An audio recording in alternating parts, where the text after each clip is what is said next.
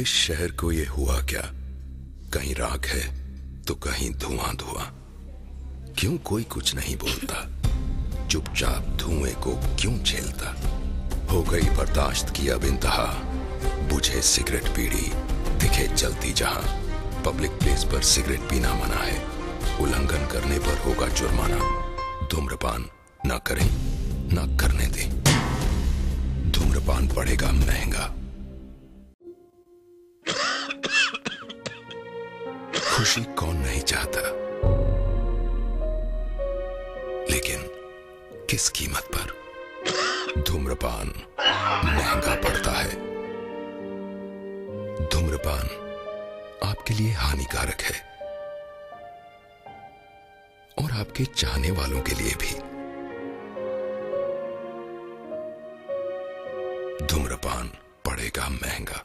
Cigarette पीना cancer का कारण और जानलेवा है। शराब पीना सेहत के लिए हानिकारक है।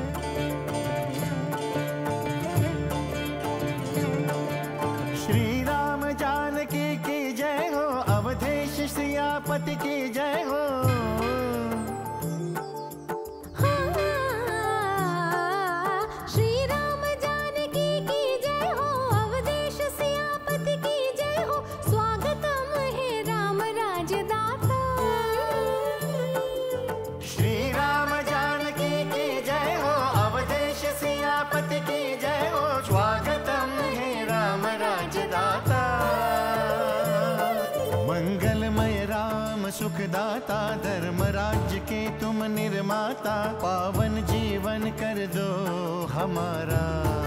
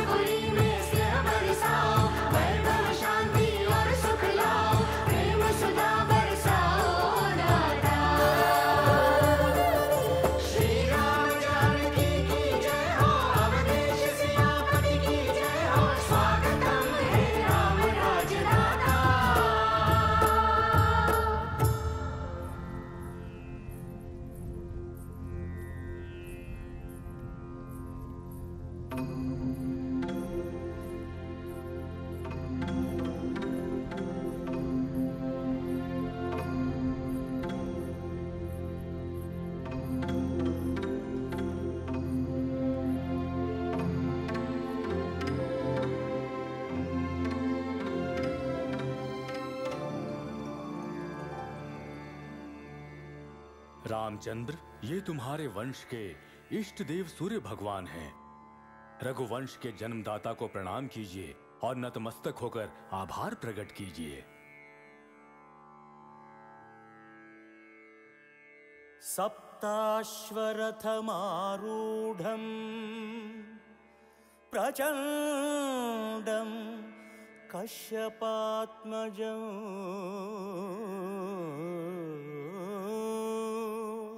श्वेतपद्मधरं देवं, तं सूर्यं प्रणमाम्यहम्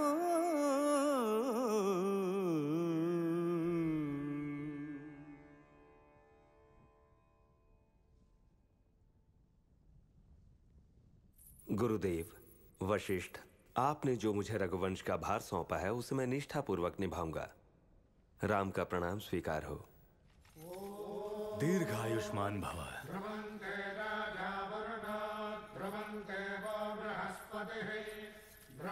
पुत्र प्राप्ति का आशीर्वाद देती हूँ।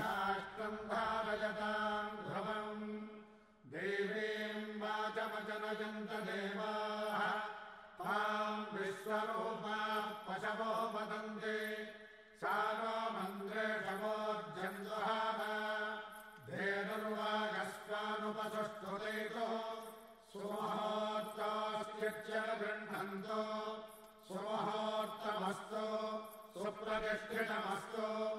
अयम् मुहूर्तः सुमहोत्तास्तु स्वस्ति न पूषा विश्ववेदाः स्वस्ति नष्टाक्षारिष्टनेमिः स्वस्ति बृहस्पतिर्दधातु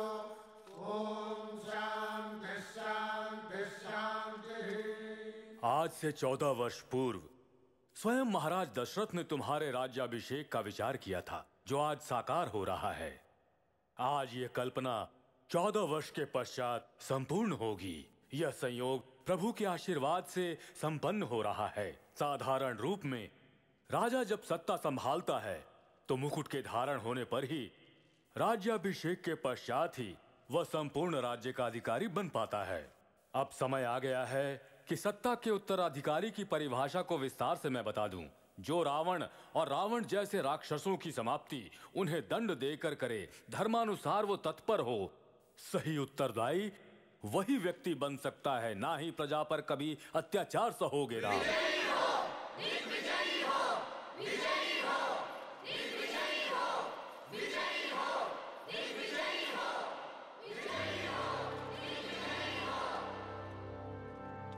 अब मेरा प्रस्ताव है कि इक्ष्वाकु वंश के कुलदीपक रघु महाराज के प्रपौत्र, अजा महाराज के पौत्र और दशरथ महाराज के सुपुत्र श्री रामचंद्र अयोध्या साम्राज्य के भार को संभालें, इसे ईश्वर का आशीर्वाद मानकर।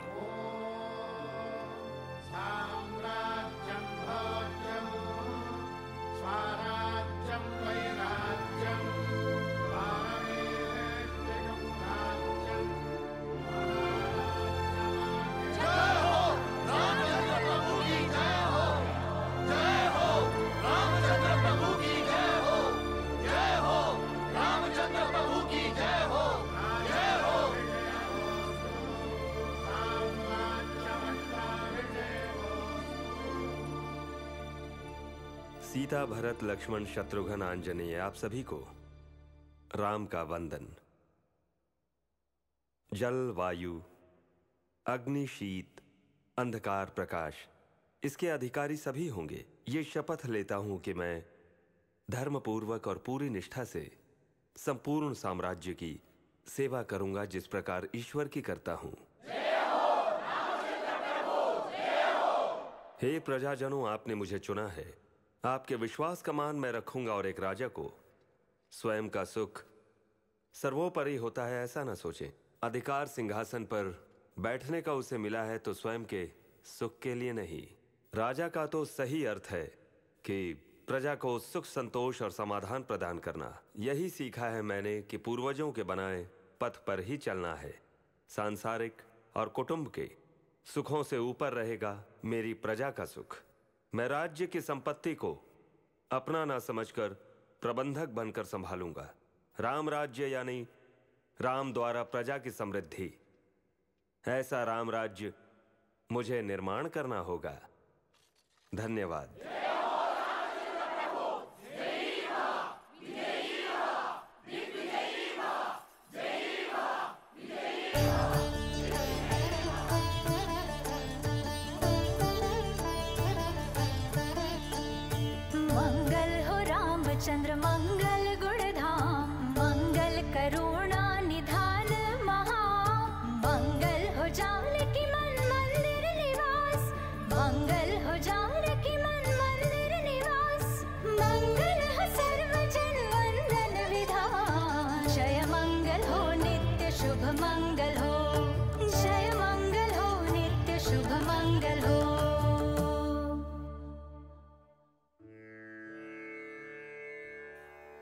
मङ्गलं कोसलेन्द्राय महनीयगुणात्मने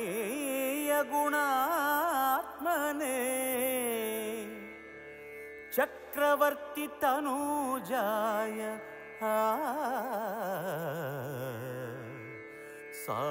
सार्वभौमाय मङ्गलम् मङ्गलम्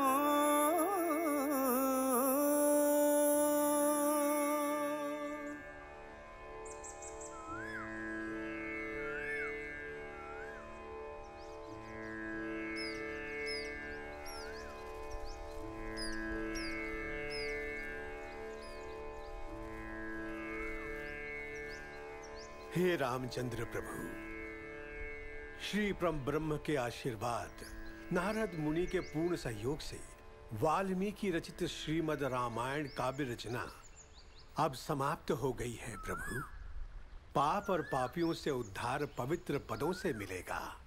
इस राम कथा को समस्त जनजाति सुने और जीवन आनंदमयी करे। समाप्त हो गई? यानी कथा समाप्त? सच में अद्भुत थी। अच्छा होता अगर आगे भी एक कथा होती। इसके आगे। सत्य वचन बच्चों प्रभु राम की कथा एक बार सुनो तो तृप्ति नहीं हो पाती। इस कथा में यदि सुख है तो दुख की छाया भी है। दुर्भाग्यपूर्ण उन चौदह वर्षों का अनुभव किया सीता और राम ने। अंततः सुख की वर्षा का समय आ पहुँचा। कथा समाप्त हुई। यानी आज के पश्चात सुख ही सुख है। ओहो क्या दुख के बिना कथा अधूरी होती है? नहीं सुनी हमें ऐसी कथा। कथा सुनने का सुख सीताराम प्रभु के कष्टों समक्ष तुच्छ है अनुचित है। हम निर्णय कैसे करेंगे कि भविष्य में कब क्या होगा? ये लीला तो राम की है वही जाने। कथा के अंदर सुख दुख का समावेश और निर्णय करने वाला भी वही है।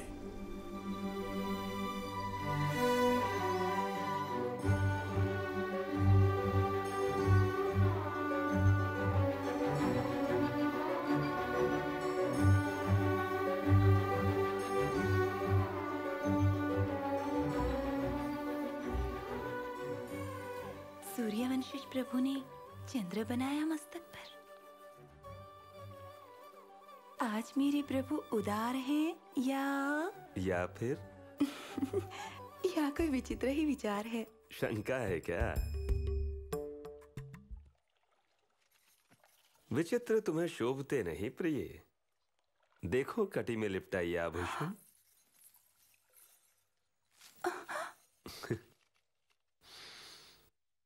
ये जो तुमने पहना है, ये क्या कोई नया आभूषण है?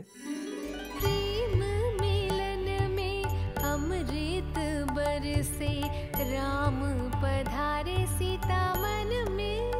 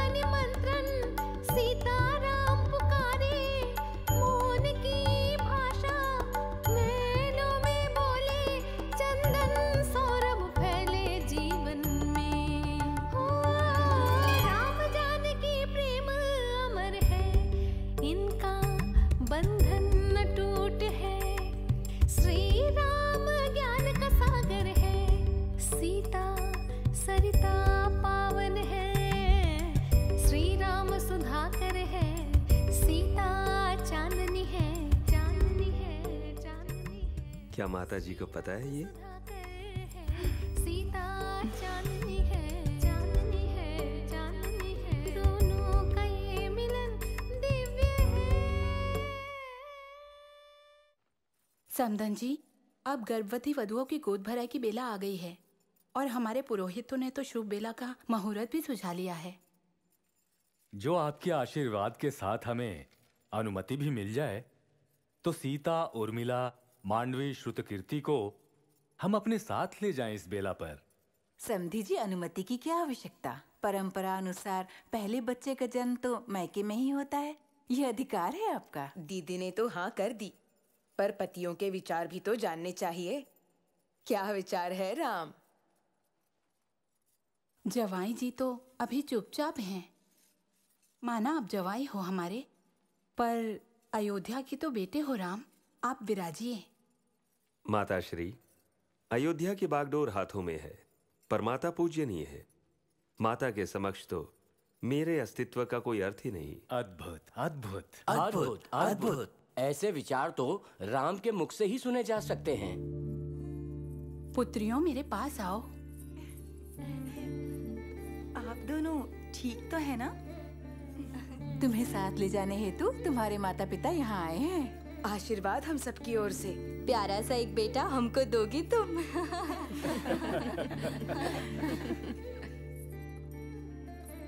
तुम ठीक तो हो ना? तुम सब चलने के लिए तैयार हो जाओ ठीक है? सबके ही मुख पर एक चमक उभर आई है। घर जाने की बात सुनकर।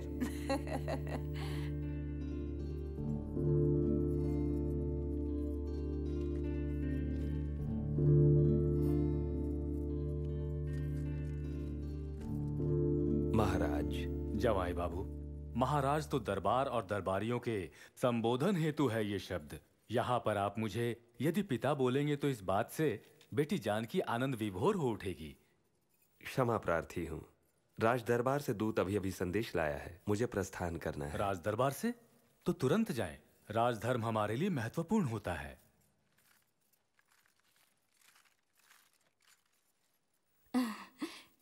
ठीक है ठीक है। राजा राम चुकी दरबार जा चुके हैं तो अब महारानी सीता देवी से उनका निर्णय सुनना होगा। बेटिया पिहर के नाम से ही खुशी से झूम जाती है पता है।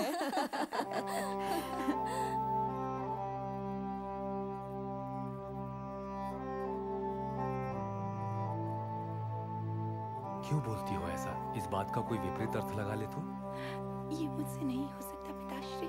मैं मैं नहीं जा सकती। हाँ तो मेरी बड़ी बेटी सीता पिहिर के समारोह में सम्मिलित नहीं हो पाएगी। पति को अकेला छोड़ना इसे स्वीकार नहीं। सच बात कही है ये तो। सच सच ही होता है। ऐसा पहले भी हो चुका है। जब पति को अकेला छोड़ा नहीं साथ निभाया पति का और यातनाएँ भी सही जंगल की। सत्य बोला आपने। अब हम प्रसूति को उस दुख का पुनः कारण बनाएँ ये उचित नहीं। अनुचित होगा यदि सीता की इच्छा के विरुद्ध गए तो। इसका तो मन से सम्मान करूँगा मैं।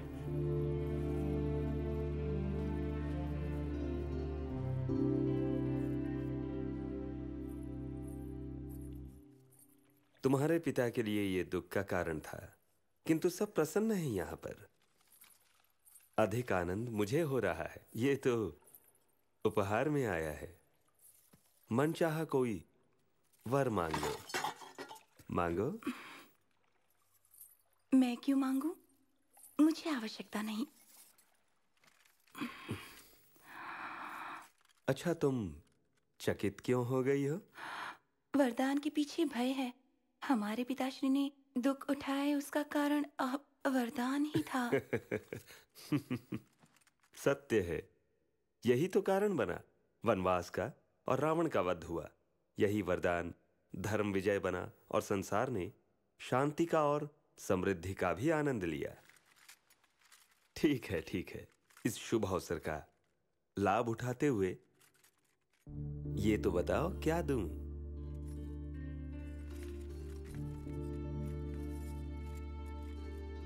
प्रभु इस समय इच्छा पूर्ण हो। ये ये असंभव है मेरे विचार में। संदेह क्यों? ये बताओ तुम्हारी इच्छा पूर्ति कब नहीं की हमने? कहो भी।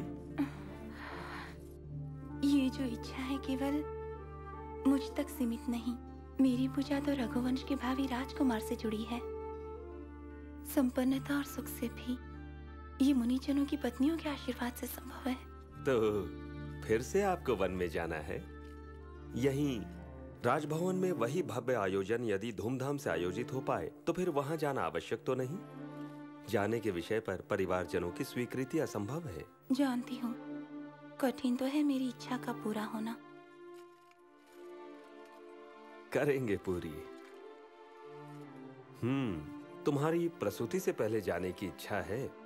ऐसा विचार है तो हमें कुछ सोचना होगा कि कैसे तुम वहाँ जाओ। और तुरंत लौटकर वापस आओ। ऐसा है तो फिर कल ही हमें कल ही? हिरण जैसा वेग तो ना दिखाओ। समझा। हिरण के नाम से भयभीत हो गई ना? ये मायावी हिरण नहीं है। ये तो प्यारा है।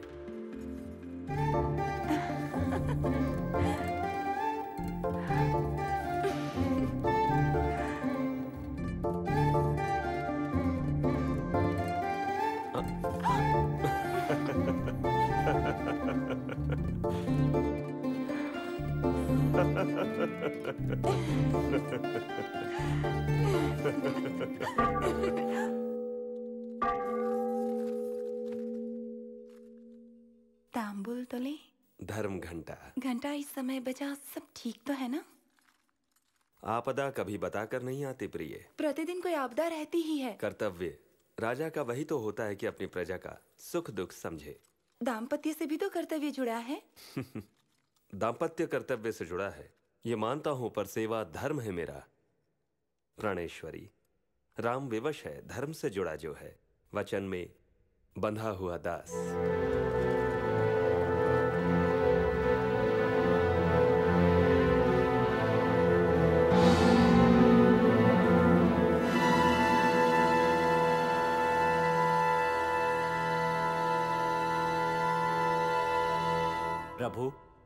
अयोध्या नगरी में मैं आपका सेवक एक गुप्तचर हूँ। नाम भद्र है मेरा। ये गुप्तचर चारों दिशाओं की देखभाल करते हैं और प्रजा का कोई भी दुख सुख इनसे छिपा नहीं है प्रभु। पूर्व में प्रभु। पश्चिम में उत्तर में दक्षिण में।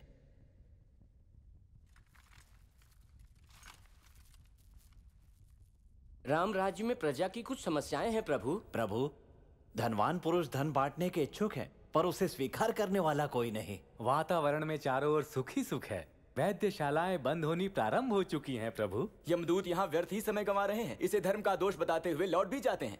हीरे माणिक और विभिन्न प्रकार के रत्न वनस्पति के समान यूँ ही पड़े रहते हैं। अतिशयोक्ति को अब यहीं समाप्त किया सच जाए में प्रभु जिस दिशा में भी दृष्टि घूमती है वहीं सुख संतोष का वातावरण फैला हुआ है। सुनकर संतोष हुआ। समाधान प्रजा के यदि मन में है तो भी गुप्तचरों आप सबकी सतर्कता में कोई कमी नहीं होनी चाहिए। ये मत भूलिए कि कष्ट और समस्याएँ समय देखकर नहीं आती। भद्र नगर की भी जानकारी दो ना। सब कुछ ठीक तो है? मेरे भी यही विचार हैं जो इन सब के हैं। हर ओर सुख समृद्धि का वातावरण है। राम राज्य में कोई कष्ट हो प्रजा इसकी तो कल्पना भी करती ही नहीं। राज्य के सुरक्षा कर्मियों आप अपना कार्य यूँ ही पूरी निष्ठा से करते रहिए। आज्ञा महाप्रभु। भद्र। क्या कोई बात? नहीं बात ऐसी कुछ भी नहीं प्रभु। सभी सुरक्षित और आनंद पूर्वक हैं। भद्र तनिक मेरी ओर देखो। तुम्हारे आचरण तथा भाव भंगिमा में कोई मेल नहीं। ऐसा प्रतीत होता है कि कुछ छिपा रहे हो। क्या बात है? कहो तो सही। तुम्हारे चेहरे की घबराहट कुछ कह रही है अ, अ, नहीं ऐसा कुछ भी नहीं प्रभु ठीक से मैं अ, सो नहीं सका थकान है असत्य यदि कहो और सत्य को छुपाओ तो वो घोर अपराध है ये सत्य कड़वा हो सकता है फिर भी कहो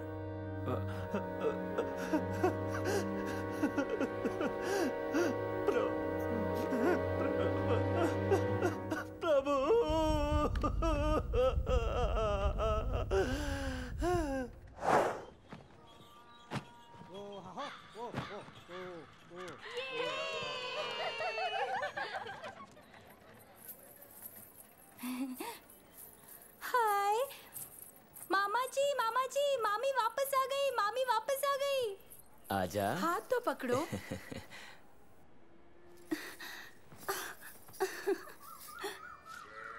भैया मेरी पत्नी ने एक बच्चे को जन्म दिया है। बच्चा पैदा हुए चार दिन बीत चुके हैं। इस प्रसंग का उत्सव नहीं मना सके। इस बात का बुरा मत मानना। आगे नहीं बढ़ना। टांगे तोड़ दूँगा। कहा था पीहर जा रही हूँ पूर्णिमा को गई और अमावस्या के बाद लौटी है यह क्या गोलमाल है इसमें गोलमाल कहाँ से हो गया बहन को बच्चा हुआ है पता है ना मेरी माँ चूँकि बूढ़ी है इसीलिए उन्होंने मुझे रोक लिया तो ये गोलमाल हो गया इसमें छिपी है वो बुराई बहन थी गर्भवती लेकिन तू जीजा की बाहों में रातें बिता रही थी मैं इस बारे में सब जान चुका हूँ सुना सर पर कितना भारी दोष मड़ा है पति ने। सौगन ले लो सौगन ले लो। चाहे अपनी अम्मा की भी। ऐसा कुछ नहीं था। निर्दोष हूँ। सच कह रही हूँ अम्मा के अरे बेटा टिप्पू पत्नी तेरी अग्नि के समान पवित्र है। हाथ पैर टूटेंगे तू निंदा ना कर। अरे पागल इतना बड़ा दोष लगाया तूने। टिप्पा मत दोष लगा पत्नी के ऊपर। चुप हो जाए सब चुप हो जाए। ये तो इसी योग्य है। इसकी ओर से ही ऐसी पहल हुई होगी ये पता है मुझे। मुझसे बोली पीहर से कल ही लौट आऊँगी। लेकिन लौटी पंद्रह दिनों बाद। एक दो दिन भी नहीं पंद्रह दिन बिताए वहाँ आमोद प्रमोद में। कैसे स्वीकार कर सकता हूँ मैं इसे? सोच समझ के बोलो क्यों इस हरे भरे दाम्पत्य जीवन में कांटे बो रहे हो? चाहो तो राम प्रभु की सभा में चलो। सदगुण प्रभु इसका कोई ना कोई समाधान अवश्य बताएँगे। अ, ना ही राम और ना ही उसके न्याय का भरोसा है। जो स्वयं दोषी है उससे कैसी अपेक्षा? निंदा करेगा तो मर जाएगा। भस्म तू अभी के अभी यहीं पर हो जाएगा। ऐसे क्यों भस्म हो जाऊँगा? धरती पर महान केवल भाई है क्या? साधारण व्यक्ति है। जिसकी पत्नी पूरे एक वर्ष पर पुरुष के यहाँ व्यतीत करके लौटी है। इस पर भी राम ने प्रसन्नता पूर्वक अपना लिया उसे। क्षमा योग्य भी नहीं है। तू मेरा पुत्र नहीं। भला ऐसे क्यों मार रहे हो मुझे? तुम सटिया गए हो। सच कहा है मैंने। झूठ नहीं। क्या राम ने उस सीता को नहीं अपनाया जो पर पुरुष क्या एक वर्ष सही और फिर लौट के उसके पास आ गई? क्या उत्तर है? क्या उत्तर है इस बात का? क्या पति पत्नी बनकर जीवन नहीं बिता रहे? बोलिए। बोलिए ना। आज पति पत्नी बनकर रह रहे हैं ना। एक पर पुरुष के यहाँ पूरा वर्ष बिताकर लौटी है उसकी पत्नी और उसे अपना भी लिया उस निर्लज राम ने। किंतु मैं ऐसा नहीं करूँगा। मैं नहीं अपनाऊँगा अपनी भार्या को। प्रभु, वो धोबी वहाँ पर एक मदरा पान किए हुए पुरुष के समान प्रणाम कर रहा था। गंभीरता पूर्वक आप इस बात को न ले प्रभु। मैंने जो सुना और देखा वही बताया। चूँकि ज़ोर देकर पूछा जो था आपने प्रभु।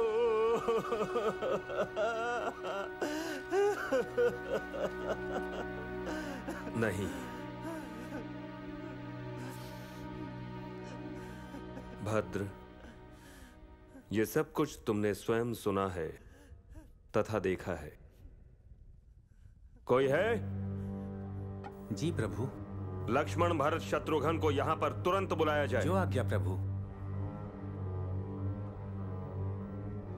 भद्र। अब तुम भी जा सकते हो। प्रभु। ये राजा की आज्ञा है कि इस विषय पर बोलोगे नहीं। अब जाओ। मैंने कहा जाओ।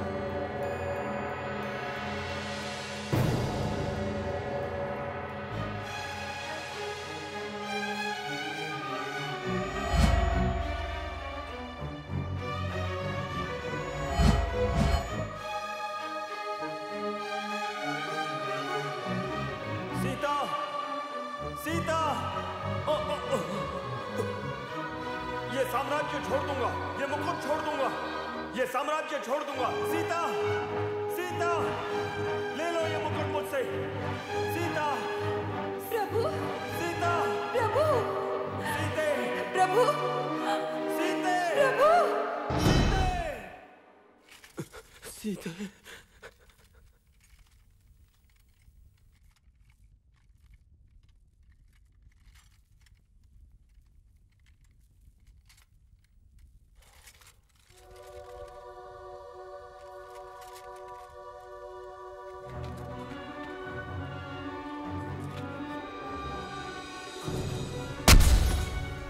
छोड़ दूँगा छोड़ दूँगा। इस सिंहासन से मुक्त करो, इस राज्य से मुक्त करो। सीता मुझे दे दो। सीते सीते। भैया सीता माता यहीं पर है। साथ में ही है और सकुशल है। कैसे सकुशल होगी लक्ष्मण? अब नहीं होने वाली। ये सारा दोष मेरे भाग्य का है। सीते सीते। कोई भयानक भ्रांति है जो आपकी दुविधा का कारण बनी हुई नहीं है। ये कोई भ्रांति नहीं परंतु नियति का खेल तो है। नहीं भूलने वाला हूँ। सीता से मैं दूर कभी नहीं हो पाऊँगा। सीते सीते। भैया! भैया! सीते हे भ्राताओं दोनों में से एक एक कोई सिंहासन का भार अपने कंधों पर ले लो। ऐसा हो जाएगा तो मुझे मुक्ति मिलेगी। इस कारागार से सीता मेरा जीवन है अलग अलग होकर नहीं जी पाऊँगा। अलग होने का कोई प्रश्न ही नहीं है। ऐसा मत बोलिए। कुछ भी समझ नहीं पाए हम तो। कैसी विचित्र बातें बोल रहे हैं। कोई विचित्र बात नहीं। सत्य बोला है भरत कल मैं राज्याभिषेक कराऊँगा ही तुम्हारा सूर्य के जब दर्शन होंगे। सीता के साथ उसके पश्चात वन की ओर प्रस्थान करूँगा। अशुभ विचार के मन में उठ रहे हैं। देखिए। इस आवेश को छोड़ें और शांत रहें। शांत कैसे रहूँ? या तो सीता का परित्याग करना है नहीं तो सिंहासन मुझे छोड़ना है। भैया सीता माता का परित्याग? कोई गंभीर बात है? हाँ भ्राता बहुत गंभीर बात है। घोर से भी घोर लांछन हम पर लगा है। हमारा सूर्य वंश घने काले बादलों से घिर गया है। हमारी प्रतिष्ठा कलंकित हो गई। और धूल में जा मिली भाई। भैया भरत, ये बात कैसे बताऊँ? मेरी अयोध्या में बसे पुरुष की जब अपनी ही भार्या चरित्रहीन लगी तो घर से निकाल दिया। कारण पूछे जाने पर वो बोला कि मैं इतना मूर्ख नहीं कि एक भ्रष्ट नारी को अपनाऊं। जैसा कि राम ने अपनी भार्य सीता को अपनाया, जो कि पूरा वर्ष रावण के यहाँ बिता चुकी थी। पर उस मूर्ख राम ने उसे पवित्र मान लिया। ये दोष लगाने वाला कौन है वो व्यक्ति? उसकी चलती साँसें बंद कर दूँगा मैं। कल कोई और कहेगा, किस किस की साँसें बंद करोगे लक्ष्मण? भैया, सुनो। सच बात है या झूठ, लेकिन प्रजा को तो विश्वास हो चुका होगा। जो भार्या भ्रष्ट है, उसको अपनाने की बात करेंगे तो कोई भी व्यक्ति आगे नहीं बढ़ेगा उसे अपनाने को। सारे ही खड़े होंगे। सर झुकाए हुए, मूर्ति बने हुए लक्ष्मण। अग्नि परीक्षा द्वारा सिद्ध हुई थी न पवित्रता? अग्नि परीक्षा यहाँ नहीं हुई। लंका राज्य में हुई, जिसका आभास यहाँ की प्रजा को नहीं। भरत, ये उनकी भावना और उनका निर्णय भी है। राजा तो दास है अपनी प्रजा का कर्तव्य से बंधा हुआ। प्रजा का विश्वास तथा निर्णय तो सर्वोपरि है, और ना ही इसका कोई दूसरा विकल्प है। तो एक मार्ग चुनना होगा ही मुझे। पत्नी या फिर राज्य का परित्याग तो निश्चित है। यही मार्ग है केवल। तुम सब मुझे राज्य बंधन से मुक्त करो। सीता चाहिए मुझे। सीता ही है मेरे प्राण। सीता के बिना तो राम अधूरा है। मैं जी नहीं सकूँगा। इतनी प्रार्थना है छोटे भाइयों से कि तुम दोनों में से कोई भार अपने कांधे पर ले लो इस साम्राज्य का और मुझे मुक्ति दे दो। कर दो ना ये उपकार सीता और राम पर। यदि सीता राम बिछड़ गए तो पाप के भागी बनोगे। मुझे मुक्त करके वन में जाने दो भाई। भैया। हम में से कोई इस योग्य नहीं कि धारण कर सके ये मुकुट। नहीं ये उचित है। ये सामर्थ्य हम में तो नहीं। यदि जो आपका आदेश हो कि अग्नि में कूद जाओ तो कूद जाएँगे। सच में तो आपके अनुयायी हैं हम। आगे नहीं हम पीछे चलेंगे। मेरे अनुयायी हो आगे नहीं मेरे पीछे। ये झूठ है। मेरे अनुयायी नहीं हो तुम। दूत हो मृत्यु के। कहते हो, भ्राता, जब उसी भ्राता को लपटों में सुलगता देखोगे तो वो सेवा प्रेम होगा। ठीक है। मेरे अनुयायी, पीछे चलने वाले, आदेश सुन लो मेरा। लक्ष्मण, प्रातः वन लेकर जाओ, अपनी भाभी को और वहीं छोड़ दो। इसी जगत माता के जन्म से भूमि पवित्र हुई है। इसी माता के विवाह से ही रघुवंश में प्रसन्नता की जोत जली। इसी सीता माता का नाम जप कर पापों से मुक्ति मिलती है मनुष्य को। एक पावन तथा चरित्रवान गुणवान माता के साथ। कुछ नहीं। भरत सुना ना तुमने? भैया भैया दया के समुद्र थे आप तो परंतु आज वो दया कहाँ लुप्त हो गई? आपका हृदय पाषाण नहीं बन सकता। ये निर्णय नहीं बदलेगा भरत। ये पवित्र धर्म इश्वाकु वंश के वंशज हमारे पिता महाराज दशरथ ने कष्ट उठाते हुए भी निभाया और प्राण भी त्यागे किंतु कीर्ति को आँच नहीं आने दी। इसे क्षति पहुँचाने का अधिकार मुझमें नहीं है। और ना ही मैं ऐसा होने दूँगा। हमारे कुल के गौरव हेतु सीता को वन में जाना होगा और यहाँ मैं उसके वियोग में जीवन काटूँगा। यहाँ सीता के बिना चाहे मुझे जितना भी दुख पहुँचे विधि के इस विधान को मानना ही होगा। भैया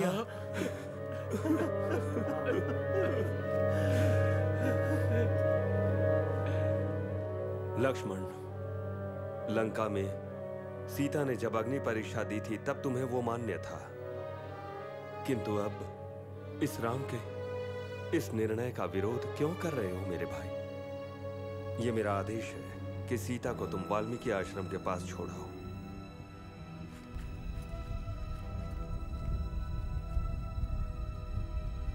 मैंने जो कहा है वो रहस्य ही रहे।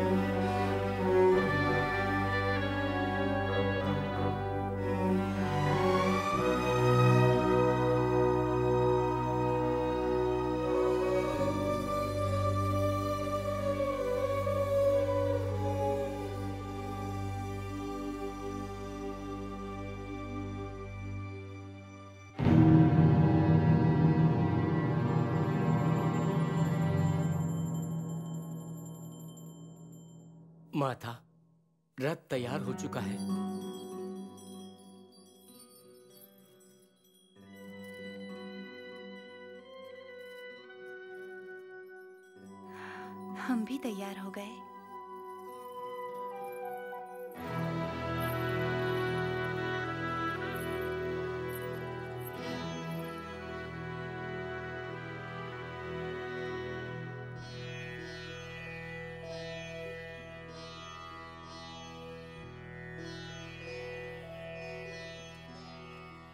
ऐसा ऐसा क्यों है कि आभूषण पहने बिना आप चलेंगी? मेरा अभिप्राय आशीर्वाद लेना है। आभूषणों की आवश्यकता वहाँ नहीं होगी। यदि आभूषण पहने तो वो पहचान भी नहीं पाएँगी मुझे। श्रद्धा से नतमस्तक हो जाएँगी। रानी आई है, इससे वो भयभीत हो जाएँगी। ना ही मेरे निकट बैठने वाली है, ना ही खुल के बातें होंगी। यदि मैं और प्रभु हम दोनों जाते तो उसी वेश में जाते हम। वो है कहा? नहीं वो आना तो उनका असंभव ही है माता। ऐसा है? यदि ऐसा है तो मैं स्वयं उनके दर्शन करके आशीर्वाद तो प्राप्त कर लूँ? नहीं संभव नहीं होगा। एकांत में होंगे इस समय।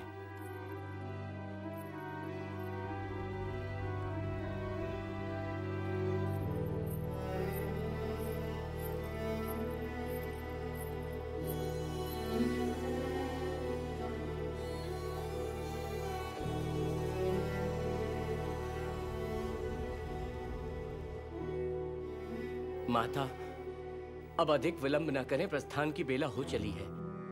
अच्छा चलिए।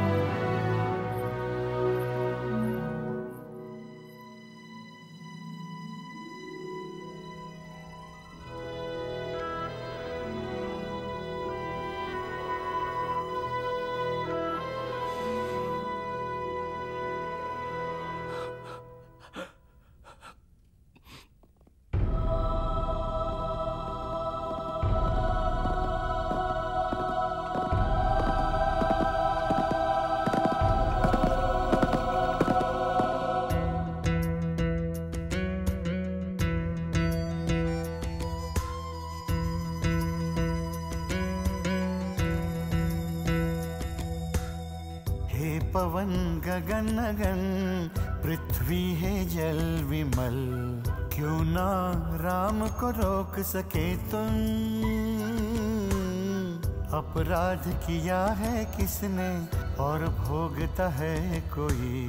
घोर अन्याय हुआ ये क्यों? ऋषि मुनि उन्हें समझा कर क्या रोक नहीं सकते थे? क्या उनका मौन उचित है? उच्च शिखर है वन राजा, धारा है सरयू नदी की। अन्याय ये क्यों हुआ है? हे पवन गगन गगन, पृथ्वी है जल विमल। क्यों ना राम को रोक सके?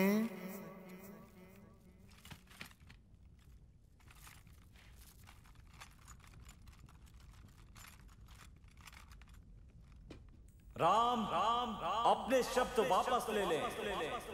आपने सभा में प्रजा को जो विश्वास दिलाया था क्या उसे झुठला देंगे?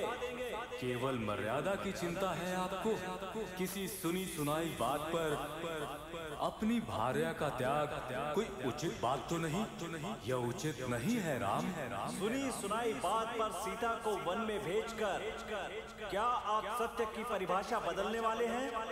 अपने पूर्वजों का अपमान करने का विचार है? क्या आप भूल गए? अपने वचन के कारण आपके पिता बैकुंठ सिधारे थे? रघुवंश के धर्म और कीर्ति का आभास नहीं है आपको। अपने शब्द वापस ले लें। भार्या का त्याग कोई उचित बात तो नहीं। धर्म और कीर्ति का आभास नहीं है आपको। राम ये निर्णय अनुचित है।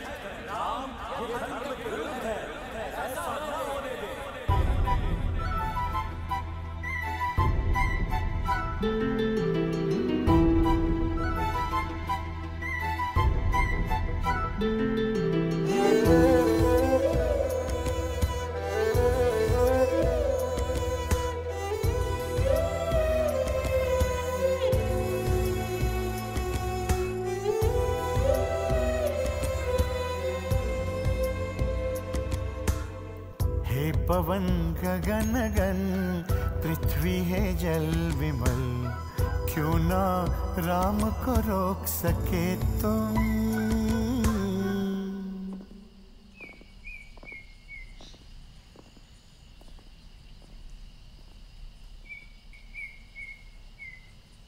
लक्ष्मण आश्रमवासी कहाँ है? यहीं कहीं पर होंगे। कहीं निकट में ही होंगे। ऐसा है तो चले वहीं। यहीं पहुँचाने की आज्ञा है। आज्ञा? कौन सी आज्ञा? और वो आज्ञा क्या है? इसी वन में छोड़ दिया जाए आपको। लक्ष्मण परिहास तो नहीं? आज्ञा जो दी गई वो मेरे ही प्रभु राम ने दी है? राम की आज्ञा नहीं। ये तो राजा की है कि ज्ञानी जहाँ बसते हो उस वन में छोड़ दिया जाए। यहाँ पर ही छोड़ दिया जाए। यानी स्वयं। नहीं वो नहीं। लक्ष्मण ये सब क्या है? तुम्हारा अभिप्राय मैं समझ नहीं पाई।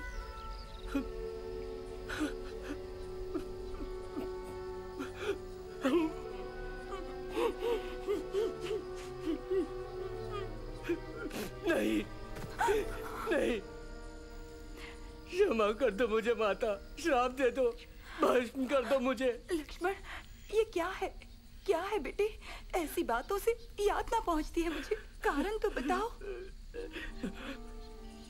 माता अयोध्या के प्रभु रामचंद्र महाराज ने अपनी प्रिय पत्नी रानी सीता का परित्याग किया। और राजपाट से वंचित भी हो चुकी है।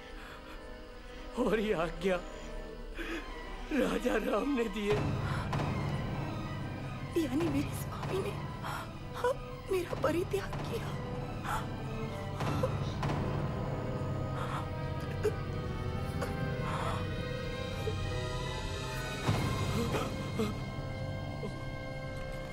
वो पार्वती परमेश्वर और ओ पंचभूतों ओ भूमि माता मेरी माँ की रक्षा करना। हर आपदा में सुरक्षा प्रदान कर।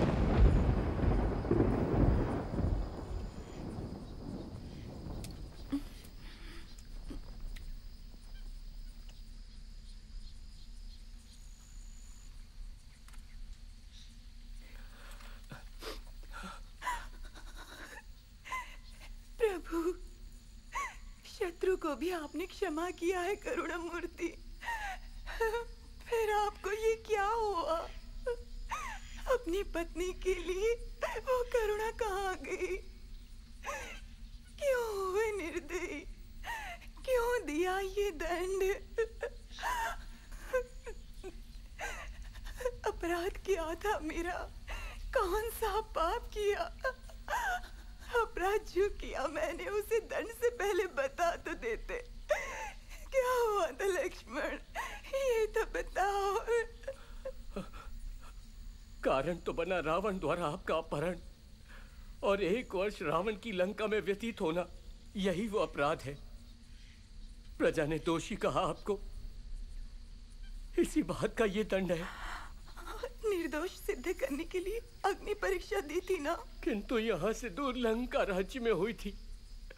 हमारी प्रजा को उस परीक्षा पर विश्वास नहीं हो रहा। उनकी आलोचना है कि वापस क्यों लाए राजा आपको? और पुनः पत्नी के रूप में अपना भी लिया। ऐसी नारी को अयोध्या की रानी बनाया कैसे?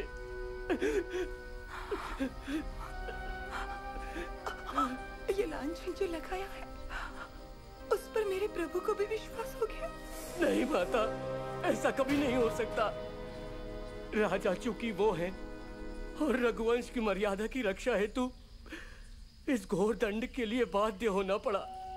लक्ष्मण अर्धांगिनी गर्भवती है उसे वन में भेजने से रघुवंश की कीर्ति या मर्यादा बढ़ जाएगी। यदि राजा है वो तो मैं रानी नहीं कर्तव्य मेरे लिए नहीं। क्या उनकी कीर्ति पर मैंने कलंक लगाया, लक्ष्मण? यदि ये पाप किया है तो मुझसे स्वयं ये कहते कि मेरे आज्ञा अनुसार तुम्हें वन में जाना होगा। तो मैं प्रसन्नता पूर्वक अग्नि में कूद जाती। प्रभु अपमान की अग्नि तो स्वयं अग्नि से भी ज्वलनशील है। मैं कैसे सहन करूँगी? इससे तो अच्छा है कि गंगा में कूद कर प्राणी माता शपथ है मेरी साथ ही गर्भ में पलने वाले शिशु की। ये गर्भ में पल रही रघुवंश की ज्योति अखंड दीप प्रज्वलित करेगी। वो भी शाश्वत प्रकाश के समान।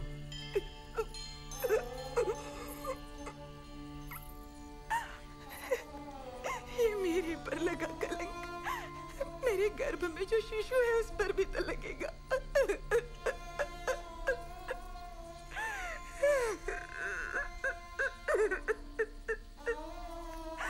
मैं विश्व को, मैं विश्व को इस मुख को किस प्रकार दिखा पाऊँगी? कैसे काटूँगी ये जीवन?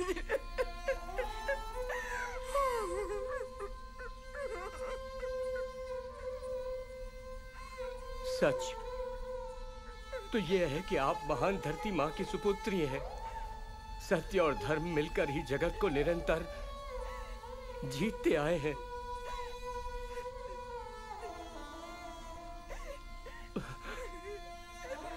राम प्रभु का हृदय तो इस बात से चूर हो ही चुका है। अर्धांगिनी, आप है उनकी और आपसे बिछड़ने पर उन्हें पीड़ा में जीवन बिताना होगा। क्या आपके बिना वो सुख चैन से जीवन बिता पाएँगे? अपने दुख से दुखी होकर आप शब्द बोल दिए उनके लिए। स्वामी के कष्ट को लेकर सोचा ही नहीं मैंने। रामचंद्र प्रभु की सेवा का अवसर प्राप्त नहीं हो पाया पूर्व जन्म का कोई पाप होगा। कष्ट उठाने के लिए पैदा हुई हो।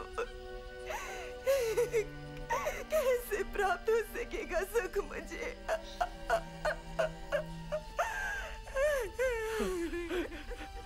सहन अब नहीं हो पाएगा ये कष्ट मुझसे। रा, राजा की आज्ञा मानना ही कर्तव्य था। आज्ञा दे माता श्री।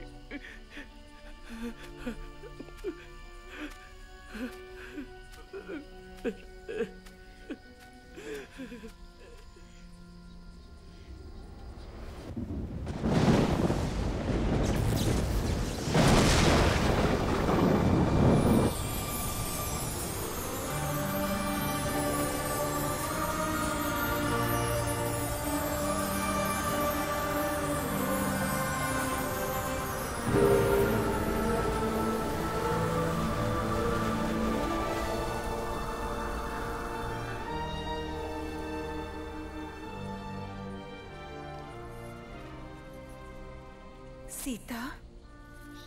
सीता मेरी पुत्री, कैसा कष्ट आन पड़ा कि जिसने यहाँ पहुँचा दिया, कीर्ति व मर्यादा पर आँच ना आए तो पति ने तुम्हें दूर यहाँ पर भेज दिया। बात ये दुर्भाग्यपूर्ण है। सीता माता का बहिष्कार जो हुआ अयोध्या प्रजा द्वारा, ये उनका दुर्भाग्य है। इस पाप की मैं स्वयं भूमि देवी भर्स ना करती हूँ। सुख नहीं पाने वाले वो, अंत तक सुख नहीं पाने वाले राज्य धर्म का उपहास वहाँ की प्रजा द्वारा उड़ाया गया, जबकि वो अपनी परीक्षा भी दे चुकी है। अग्नि को साक्षी मानकर उसका ही परित्याग किया। और वन में छुड़वाया कैसे किया ये? राजा प्रजा दोनों ही मेरे शाप से नहीं बच पाएँगे, कदापि नहीं बच पाएँगे।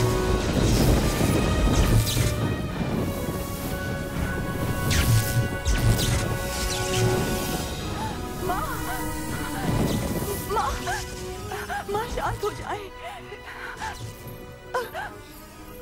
माँ मेरे स्वामी तथा प्रजा को दंड ना दे आप। नहीं तो कष्ट मुझे होगा। कौन है तुम्हारा स्वामी? हृदयहीन व्यक्ति? अग्नि के हवाले तुमको किया ऐसा स्वामी? गर्भवती पत्नी को वन में भेजने वाला वो निर्दयी? माँ स्वामी की निंदा और नहीं सह सकूँगी। बस करिए माँ कलंक उन पर लगाए तो मैं नहीं सह सकूँगी। आप जाओ, अंतर ध्यान हो जाओ। जिस प्रकार पति की निंदा तुमको सहन नहीं हुई, उसी प्रकार मुझे तुम्हारा कष्ट भी सहन नहीं हो रहा। अब मैं शपथ लेती हूँ, सीता, कि अब नहीं बोलूँगी राम के विरुद्ध। चलो घर, चलो मेरे साथ, पुत्री। माँ, पति के घर जो कलंक मेरे पर लगा है, उसे लेकर तो मैं नहीं आऊँगी। इससे आपकी प्रतिष्ठा कम हो जाएगी। इस गर्भ में चूँकि रघुवंश का वंशज है, उसे पति के हाथों में सौंपना ही है, वो वंश का भविष्य है। ये धर्म निभा लो इसके बाद चैन से सो जाना चाहती हूँ। एक बच्ची के रूप में, अपनी माँ की गोद में। ये कठिनाइयाँ वो माँ सहती ही है, जो एक बिटिया की माँ होती है। विधि के इस विधान को ना तो कोई आज तक बदल पाया, और ना ही बदल पाएगा।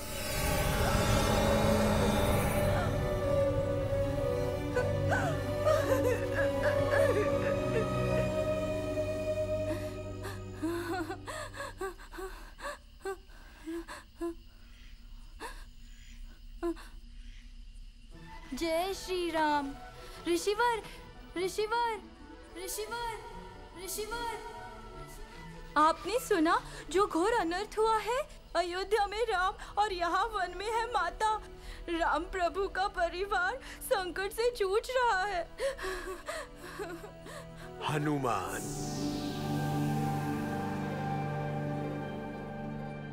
राज्याभिषेक श्री राम कलक हर्षित हुआ था। सीता माँ की विपदाओं का अंत हुआ था। सुना तो जैसे बिजली मुझ पर टूट पड़ी है। सीता राम के आनंद के हित अब मैं करूँ क्या? उनके मिलन के लिए मैंने सागर लांघा था। कहिए ऋषिवर अब मैं करूँ क्या? राम क्या से बधा हूँ मैं?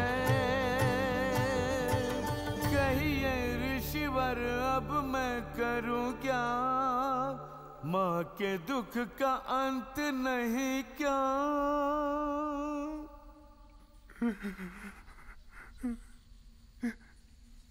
सीता माता फिर से कष्टों में घिर चुकी हैं ऋषिवर। सीता माता की कथा अभी समाप्त नहीं हुई है हनुमान। अंत शुभ हो कामना यही है। सब शुभ होगा। हनुमान सेवा करने ही तू आए हो ना माता की? ऐसा भाग्य मेरा कहाँ स्वामी? माता के लिए मैं अंगूठी लेकर लंका जा पहुँचा। ना यह वो लंका है, ना ही यहाँ राक्षस है जो उनकी रक्षा करूँ। एक और श्री राम है, दूसरी ओर माता है। किसका सहयोग और किसका विरोध करे? शरण में आया हूँ, आपके मार्गदर्शन करें। शरण श्री राम के कमल चरणों में मिलती है। धैर्य रखो हनुमान। संदेह तनिक भी ना होने पाए। जब भी माता की सेवा में रहोगे तो बाल रूप तुम्हारा होगा। गाओगे, नाचोगे, ताकि वो प्रसन्न हो, संतोष प्राप्त हो। यही सेवा है। माता जितना प्रसन्न होंगी, बालक उतना ही स्वस्थ होगा। शुभम। जयम।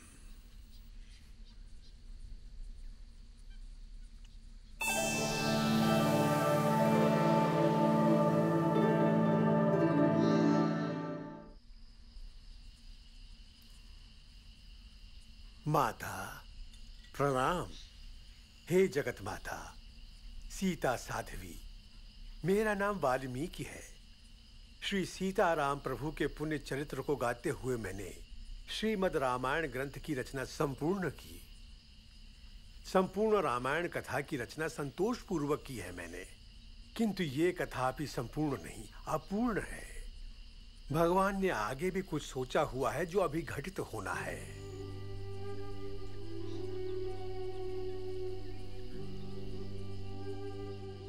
माता सीता लोक माता मेरे आश्रम चलिए और हमें आशीर्वाद प्रदान कीजिए।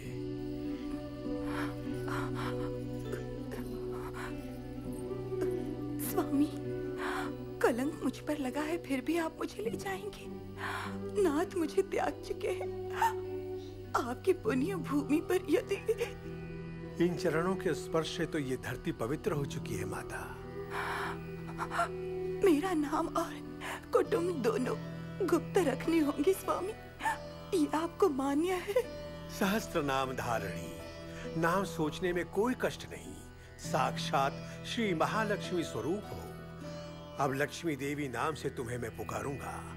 बालराजू ये चिरंजीवी तुम्हारी सेवा में होगा। इसे अपना बड़ा सुपुत्र समझना। और नाम बालराजू है। बालराजू सुनो मेरी बात। तुम अभी दौड़ते हुए अपने आश्रम जाओ और वहाँ वहाँ? हाँ जाना है। जाना है? सदा ही भागम भाग मारुति के समान वेगवान है। मेरे बेटी माता को आश्रम में रहना होगा तो कुटिया तो बनानी होगी ना यही जाकर बताना है। ओ कुटिया बनानी है? माता आएँगी गुरुदेव भी पधारेंगे। माता के लिए कुटिया तैयार करनी है। गुरुवर का आदेश है, आप सब आइए, माता के लिए कुटिया तैयार करनी है। अम्मा आइए, जल्दी आइए। जल्दी आइए। इस कुटिया को तैयार करना है। आप भी जाइए ना।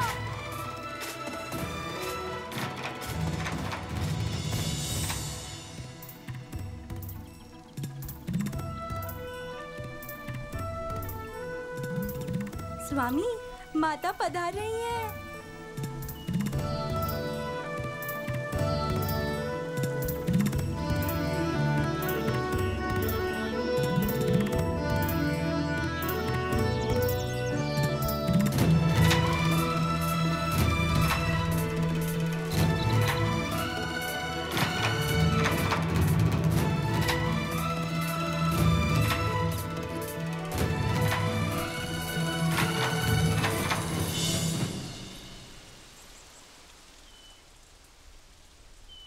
बड़े भाग्य हैं हम सबके, जो हमारे बीच एक सहृदय माँ हमारे आश्रम में रहेंगी। इनका नाम लक्ष्मी देवी है। धर्म अनुराग के विचार हेतु इनके पति ने इन्हें यहाँ भेजा है। ये कार्य समाप्त जब तक होगा, ये हमारे आश्रम में ही रहेंगी। देवी समान इन्हें पूजना होगा। बहन समान समझते हुए इनकी सेवा करनी होगी। रीति रिवाज अनुसार जो कल्याण कार्य गर्भवती स्त्री हेतु होते हैं, वो सभी होने चाहिए। आइए माता।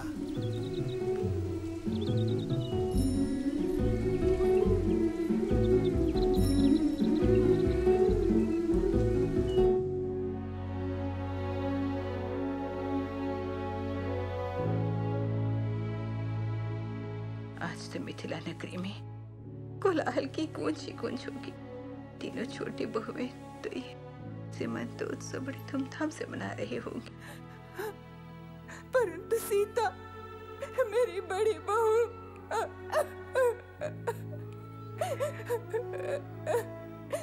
इतनी भाग्यवान नहीं है।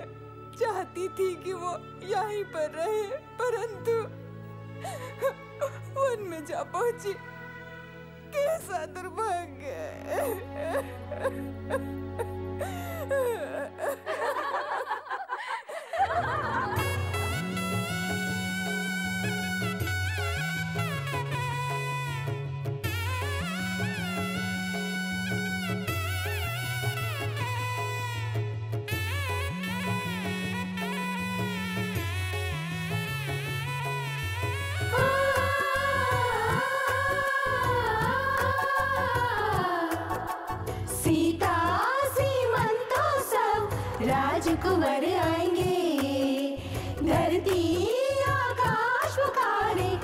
है द्वारे द्वारे। कौशल देश में गीत गूंजते जैसे कोयल कूके। पूनम और बसंत साथ में लगे बधाई देने। राम प्रिया श्री सीता रानी माता बन शोभे। सीता, सीमंतो सब राजकुंवर आएँगे। धरती हर्ष घर द्वारे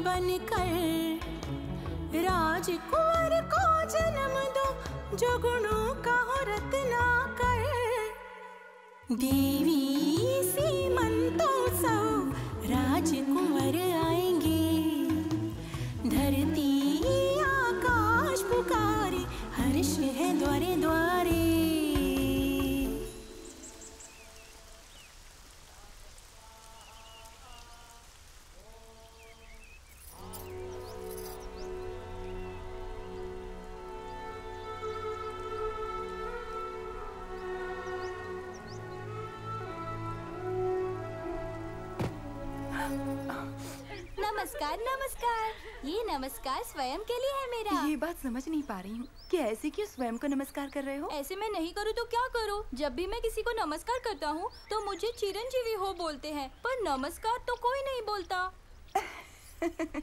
इस पर आप तो हंस रही हो माता। वाह आप जब भी हंसती हो तो मुझे मेरी माँ के समान लगती हो। माँ आपको और हंसाने हेतु एक छोटी सी कहानी सुनाओ क्या? लेकिन सही उच्चारण के साथ। डर इसी बात का था मुझे। बोलने से पहले ही आप तो त्रुटियाँ निकाल रही हो। अच्छा ठीक है, चलो, सुनाओ। जैसे ही श्री राम प्रभु का राज्याभिषेक पूर्ण हुआ तो थकान के कारण अपने कक्ष में चले गए। आज्ञा शेष लोगों ने भी ली और वो चल पड़े, किंतु अंजने हम्म? वहीं पर चौकड़ी जमाए बैठे रहे अपनी सेवा भाव में। पर जैसे ही श्री राम कक्ष में पहुँचे अंजने भी पहुंचकर चरणों में बैठ गए। नींद के कारण वहाँ सभी झोंके और ले रहे थे। किंतु हनुमान वहीं पर डटे रहे। बेटे तुम भी सोने जाओ। यदि मैं भी चला जाऊँगा तो स्वामी की सेवा में कौन रहेगा माते? यहाँ मैं रहूँगी ना। माते आप जो करेंगी वो सेवा अलग है और मेरी सेवा अलग। स्वामी जो सर की पीड़ा के कारण उठकर बैठ गए और मुझसे ये बोले कि मैं तुरंत उड़कर जाऊँ ताकि मैं संजीवनी पर्वत से कुछ पत्तियाँ ले आऊँ उनके उपचार के लिए तो आप उड़कर जा सकेंगी वहाँ। किंतु मैं उड़कर जा सकता हूँ वहाँ। ऐसे काम आप नहीं कर पाएँगी। आहा।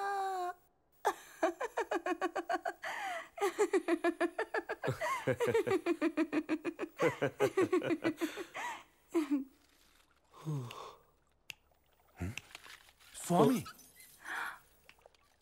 ये चुटकी तो मैं भी बजा सकता हूँ हनुमान। ना प्रभु जब कोई व्यक्ति स्वयं के लिए चुटकी बजाए तो वयोवृद्ध उसे अनुचित कहते हुए विरोध करते हैं। स्वामी की जमाई के समय चुटकी बजाते हैं दास। ठीक है हनुमान। तो फिर तुमको ये करना है कि यहाँ पर नहीं बजाओगे चुटकी। तुम छत पर जाओ और वहीं पर चुटकियाँ बजाओ। स्वामी जमाई ले तो चुटकी वहीं से बजाना जिसे सब सुनेंगे भी। सुझाव उचित तो है ना? उचित है माँ। जय श्री राम ऊपर पहुंचकर हनुमान के मन में शंका पैदा हुई कि मैं जानूँगा कैसे? कि राम प्रभु को जमाई कब आई होगी? कब चुटकी बजानी है? हाँ ये सोच उन्होंने निरंतर चुटकियाँ बजानी प्रारंभ कर दी।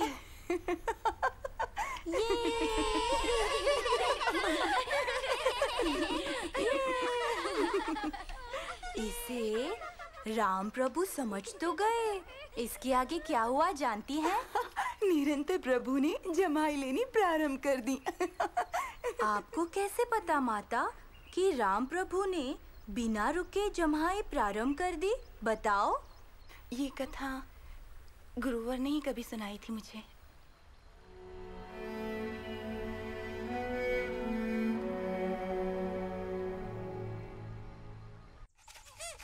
ए हटो हटो हटो पीछे हटो पीछे हटो।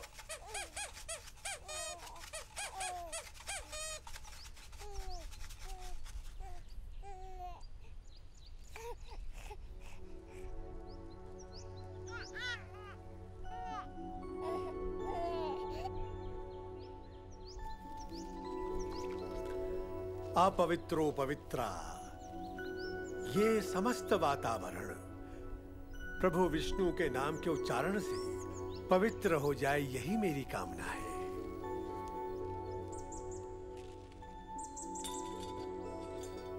बेटी, शुभ लग्न में, शुभ मुहूर्त में, महाराज के भाग्य से जुड़वा बच्चों ने इस आश्रम में जन्म लिया है तो मैं इस शुभ अवसर पर इन बच्चों का नामकरण विधि अनुसार करता हूँ। मैं अब इस पवित्र तृण के दो भाग करता हूँ। तो इसे कुश के नाम से पुकारेंगे। पवित्र तृण के दूसरे, भाग के अनुसार लव नाम उचित होगा। यानी मिला दें दोनों नामों को तो लव कुश के नाम से पुकारेंगे।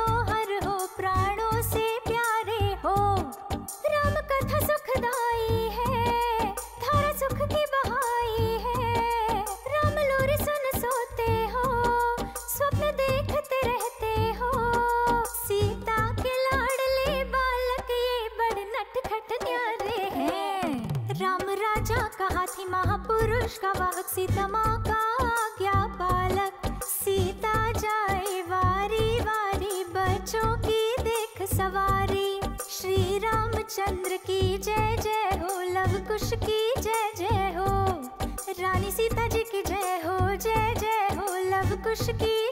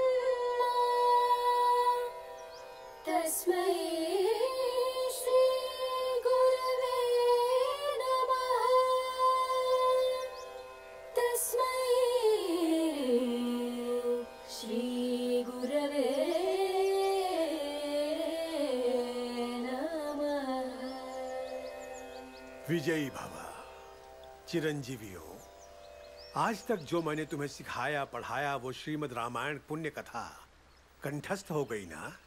उसे समझ लिया है ना? जी गुरुवर। ये कथा आपके द्वारा रची गई है। सचमुच ऐसा हुआ था क्या? इस लोक में ऐसे महान पुरुष पैदा हुए हैं।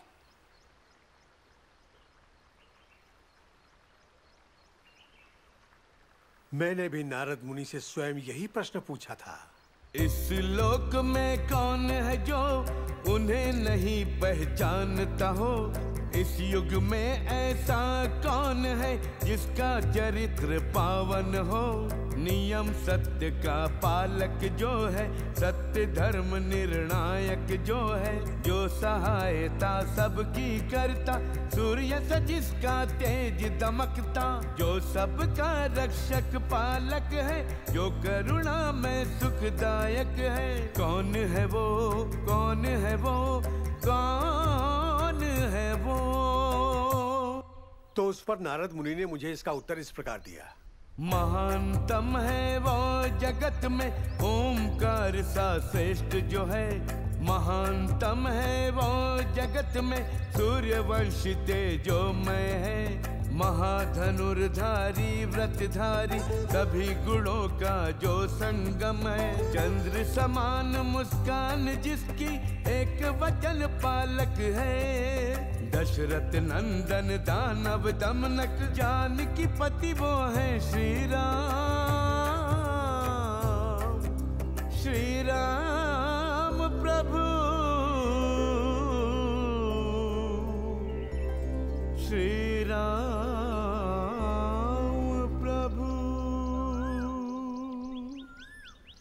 इस रामायण महाकाव्य की कथा में रामायण का अर्थ है राम तथा उनके आदर्श। राम के पद चिन्हों का अनुसरण यानी यानी उन्होंने बताया कि व्यवहार कैसा हो और भले बुरे की पहचान भी प्रत्येक मनुष्य को हो और हम धर्म के पथ पर चलें। इस प्रकार हमको बुरे पथ पर न चलने की शक्ति मिलती है। जो हमें हर पल ऐसी प्रवृत्ति की ओर ले जाती है, जो घोर दानवी प्रवृत्ति है। मानव इस प्रकार सुख और संतोष के मार्ग पर चलता है और उसके सभी सिद्धांत धर्म को साहस के साथ अपने जीवन का अंग बना देते हैं। हाँ रामायण के पात्रों ने तुम्हारे जीवन पर जो छाप छोड़ी है, उसका विवरण दो। दशरथ महाराज ने पूरी निष्ठा से वचन निभाया। जिनकी भारिया कैकर ने जो वरदान मांगा था, उसे निभाने के लिए अपने अत्यंत प्रिय सुपुत्र राम को वन में भेजा। यही व्यथा ही तो उनकी मृत्यु का कारण बनी। यानी प्रथम होता है वचन को निभाना। चाहे इसमें प्राण ही क्यों न गवाने पड़े। किंतु राम के विषय में तुम्हारे विचार? सच्चे और साथ ही पराक्रमी भी। वो वचनबद्ध पूर्ण रूप से साहसी पत्नी भी है आदेश पिता का मानते हुए उन्होंने राजपाट का सुख छोड़ा बन चले गए कष्टों का अनुभव किया। इसका अर्थ है कि माता पिता के आदेश का पालन सर्वोपरि है। साथ ही सीता देवी भी महापवित्र हैं। पत्नी धर्म का पालन करते हुए सारे सुख सुविधा छोड़कर पति के साथ वन में गईं और अनेक कष्ट भी उठाए। इतना ही नहीं वहाँ रावण ने उनका अपहरण भी किया और लंका भी ले गए अपने साथ। महारानी ने अत्याचार सहे पर रावण द्वारा दिए प्रलोभनों के आगे नहीं झुकी। ये राक्षस तो उनके समक्ष केवल घास का तिनका था। राम पर अटूट श्रद्धा थी। आएँगे मुझे छुड़ाने ये विश्वास था। और रात दिन पूजा अर्चना करती रही। अंत में कष्टों से छुटकारा मिला और दोनों मिल गए। और रावण के विषय में? परस्त्री का अपहरण उसके द्वारा हुआ जिसका दंड था उसकी मौत। साथ ही उसके बंधु भ्राताओं का भी इसमें वध हुआ। राम प्रभु की कथा में न कि पिता पुत्र संबंध है बल्कि पति और पत्नी का है। साथ ही भाई भाई का भी। विश्व को प्रेरणा स्वरूप आदर्श का एक उदाहरण दिखाता है। लक्ष्मण का सेवा भाव उन्हें वन में ले गया। राजपाट पर अधिकार तो केवल मेरे भाई का है ऐसा बोला भरत ने। आह श्रेष्ठ है भाई भाइयों का प्रेम। ऐसे महापुरुषों के आदर्शों पर चलना तो धर्म समान है। इस पुण्य कथा को तुम दोनों कोने कोने तक पहुंचाओगे। संसार भर में इसका गुणगान होना चाहिए तुम्हारे द्वारा ताकि इस प्रकार राम प्रभु द्वारा चुना मार्ग प्रेरणा स्रोत बने। उनका मन में मंदिर बनाए उसी में सीता राम प्रभु की पूजा अर्चना भक्ति भाव से करें।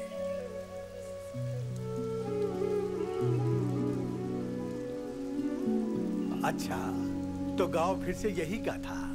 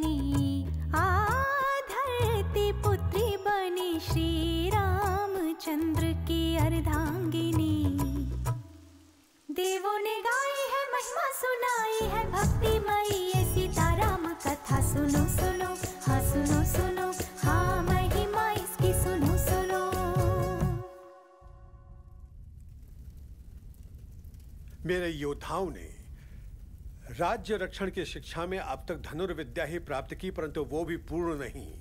इससे राज्य की सुरक्षा और दुष्ट जनदंड के अधिकारी होंगे। अब बचे हुए आधे भाग को भी जिसे अस्त्र विद्या बोलते हैं उसकी शिक्षा भी देनी होगी। यानी इस विद्या से भी ऊपर है? उपयोगी भी है। जिस व्यक्ति की मांसपेशी व्यवस्था अच्छी हो और दृष्टि भी पैनी हो तो वो कमान गदा तलवार आदि का उपयोग करने वाला है।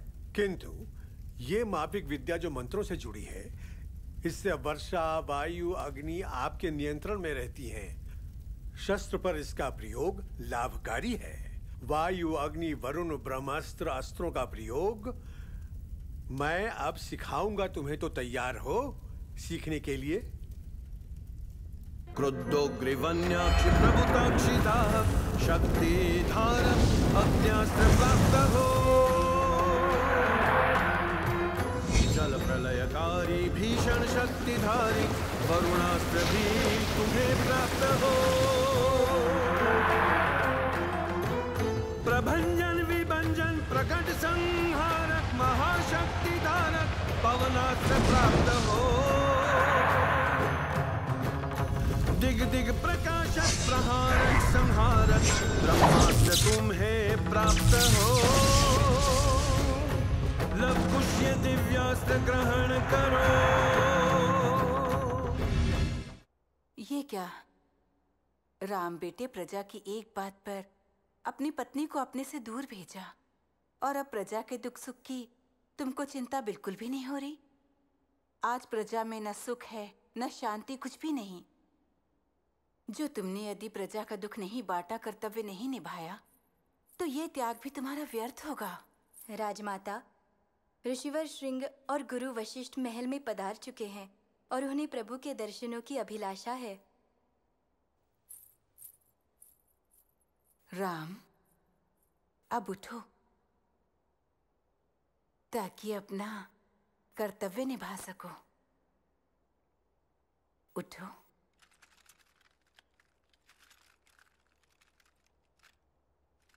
शुभमस्तु कल्याणमस्तु विराजिए प्रणाम। आयुष्मान भव।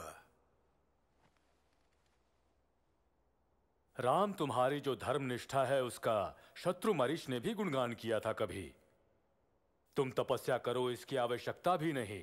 महर्षि विश्वामित्र ने स्वयं कहे हैं ये शब्द। धर्म स्वरूप व्यक्ति को धर्म उपदेश की आवश्यकता ही नहीं होती। ये दशा तुम्हारी राहु सूर्य ग्रस्त रूप हो चुकी है। ये ग्रहण तो अब छूटना चाहिए ताकि अब मेरे भैया प्रचंड मार्तंड समान प्रकाशित हो सकें। राम ये ग्रहण तुम पर ही नहीं बेटे पूरी प्रजा के ऊपर भी लगा हुआ है। राम यथा राजा तथा प्रजा जानते हो ना? ये पीड़ा तुम्हारी अंधकार रूप में प्रजा पर भी फैल चुकी है। राज्य में न तो शांति है वह सौजन्य भी नहीं और संतोष का भी नाम नहीं। अब तो आशंका दुर्भिक्ष की भी होने लगी है। जिस प्रजा हेतु तुमने प्रिय सीता को त्यागा वही निर्दोष प्रजा आज दुख उठा रही है पुत्र। इस बात को क्या उचित कहोगे? शक्ति गंवाई मैंने तथा अपनी ही धर्म पत्नी को खोया भी। ये राम अब किसी योग्य नहीं। परमेश्वर की कृपा से राम असंभव नहीं है कुछ भी तुम्हारे लिए। यदि यज्ञ करो तो सब कुछ प्राप्त हो जाएगा। हाँ पुत्र राम जब तुम्हारे पिता राजा दशरथ पुत्र न होने के दुख से दुखी रहते थे तो उन्होंने भी पुत्र प्राप्ति हेतु ऋषि श्रृंग के आदेशानुसार पुत्र कामेष्ठी यज्ञ आयोजित किया और यज्ञ के प्रताप से राम लक्ष्मण भरत शत्रुघ्न प्राप्त हुए। शांति सुख। राम राज्य में ताकि लौट आए। सबकी इच्छा अनुसार अश्वमेघ यज्ञ करना होगा। गुरुवर का सुझाव यही है। इसका अनुमोदन वशिष्ठ गुरु ने स्वयं किया है जो मानने योग्य है। पुरुष जो अपनी धर्म पत्नी के बिना रहता हो वो यज्ञ योग्य नहीं है। ये बात तो पता है ना? ये समस्या कठिन तो नहीं। अयोध्या के सुख और शांति हेतु। तुम पुनर्विवाह करो तो अनेकों राजबालाएँ प्रस्तुत हैं। दीदी ऐसी बात मुँह से ना निकालें। ये मेरी नम्र विनती है आपसे। परिहास में भी ऐसा ना बोलना। ये राम तो एक पत्नी वृत्ति पुरुष है। शांत हो जाओ राम शांत हो जाओ। राम राज्य के दुख से दुखी होकर ये बात बोली है दीदी ने तुम्हारी, किंतु इसके समाधान हेतु प्रण तोड़ने की आवश्यकता बिल्कुल नहीं पड़ेगी तुम्हें। पत्नी के स्थान पर होगी सौभाग्यवती सीता देवी की स्वर्ण प्रतिमा तो यज्ञ इस प्रकार संपन्न हो सकता है, राम। सुनो, राम, शास्त्रों द्वारा इसकी स्वीकृति भी है।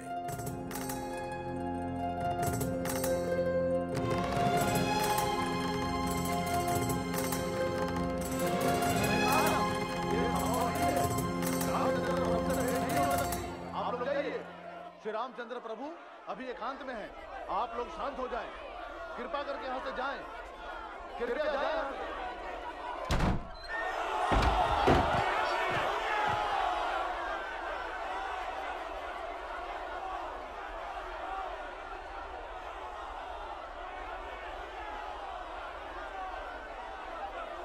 प्रिय प्रजाजनों ऐसा कुछ भी नहीं किया है आप सबने जिसकी मुझसे क्षमा मांग रहे हैं। बुरे तथा अच्छे सारे कर्मों का उत्तरदायी तो राम ही है। ये झूठ है प्रभु ऐसा नहीं हो सकता। अपराधी हम हैं। सारे पाप हमारे द्वारा हुए हैं। सीता माँ को कष्ट पहुँचाया हमने अज्ञानी है ना? अपराध क्षमा करो क्षमा करो। क्षमा करो प्रभु क्षमा करो। इस पाप का फल हमें भुगतना होगा ही। त्योहार उत्सव सब हम उसी पीड़ा के द्वारा पीड़ित माँ हैं। सीता जब से हमें छोड़ कर गई है मानो विपदा का पहाड़ टूट पड़ा है हम पर। पाप जो किए हैं उनका प्रायश्चित तो करना ही पड़ेगा। प्रभु इसे हमारा प्रायश्चित मानकर स्वीकार करिए। हाँ प्रभु। हाँ प्रभु स्वीकार करिए हमने सुना है कि माता सीता यहाँ पर सोने के रूप में पधारेंगी। ऐसे रूप में हमारी माता पधारेंगी यहाँ। ऐसा बड़े लोगों के मुख से सुना है कि माँ सीता की स्वर्ण मूर्ति बनने वाली है मूर्ति होने के वाला है? निर्माण में राज भंडारों के सोने का उपयोग न हो कदापि कदापि न हो प्रभु। माँ की मूर्ति जो बने वो हमारे दिए सोने द्वारा बने। तो स्वीकार करे और प्रायश्चित करने दे। पाप धोने दे। हाँ प्रभु, पाप धोने दे हमें, प्रभु। माँ पधारेंगी तो रक्षा वो कर पाएँगी। प्राण धन हम अपना शुभ कार्य में दे, वही अंतरात्मा कह रही है।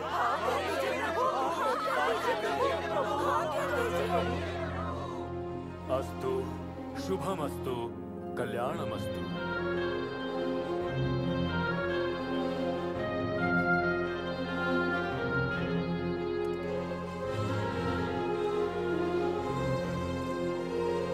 रामचंद्र प्रभु हमें क्षमा कर दे प्रभु। हमें क्षमा कर दे प्रभु क्षमा कर दे। प्रभु। क्षमा कर दीजिए।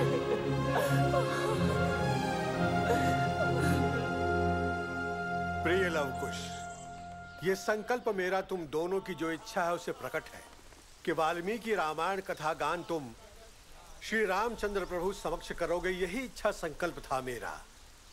इच्छा तुम्हारी भी तो यही होगी। जय मस्तु। शुभम अस्तु सौभाग्यवस्तु। पुनर्वैभव प्राप्त करो। अयोध्या तक तुम दोनों को भारद्वाज मुनि सुरक्षा पूर्वक पहुंचाएँगे। गुरुदेव आप हम दोनों के साथ।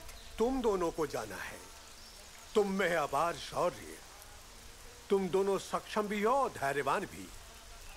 धैर्य मत खोना और लक्ष्य प्राप्त करना। शुभ होगा विजयी होगे। माता लोक पावनी महालक्ष्मी तुम्हारी सहमति है ना?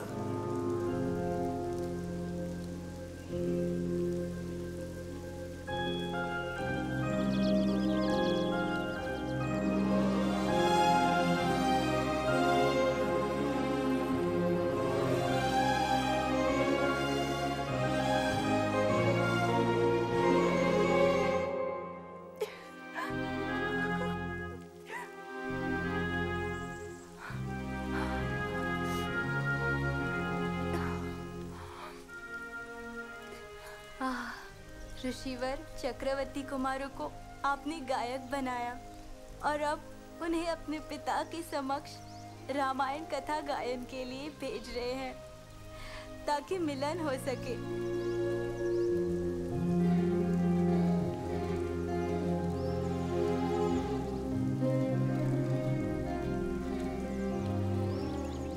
श्री रामचंद्र प्रभु के दर्शन का लाभ उठाना।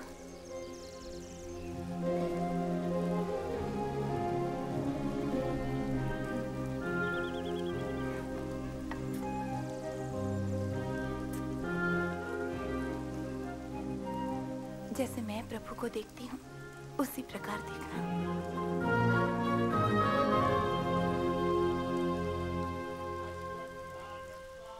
धैर्य मत खोना गुस्सा भी नहीं करना। ऐसा नहीं होगा। और झगड़ा भी नहीं करोगे तुम दोनों किसी से। बिल्कुल नहीं, बिल्कुल नहीं। कोई दान धर्म उपहार आदि तुम दोनों मत लेना। बिल्कुल नहीं बिल्कुल नहीं। अपना नटखटपन छोड़ना नहीं। क्यों छोड़ेंगे?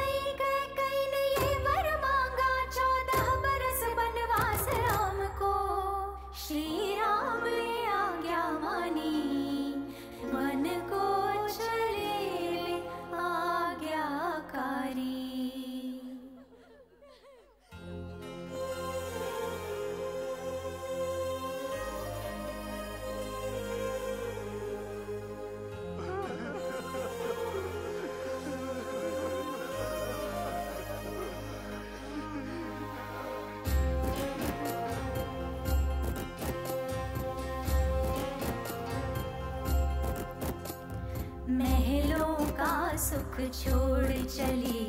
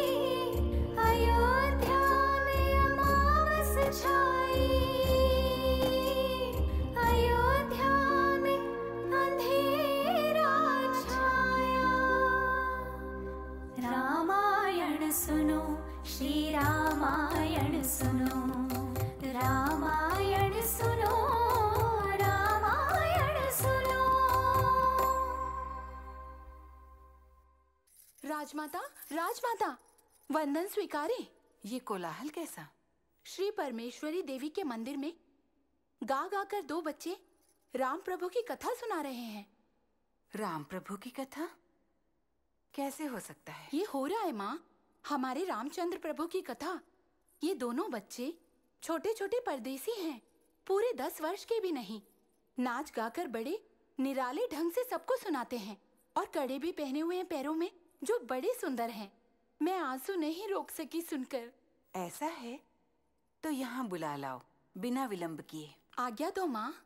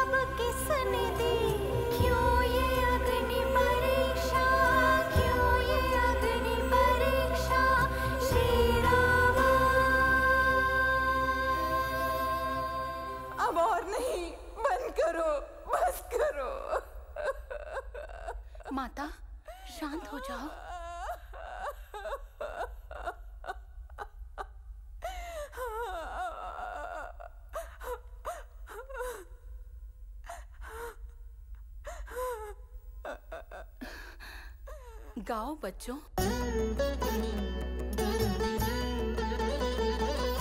अग्नि में कूद पड़ी अपमानित सती। अग्नि में कूद पड़ी अपमानित सती। लाज के मारे जग के सारे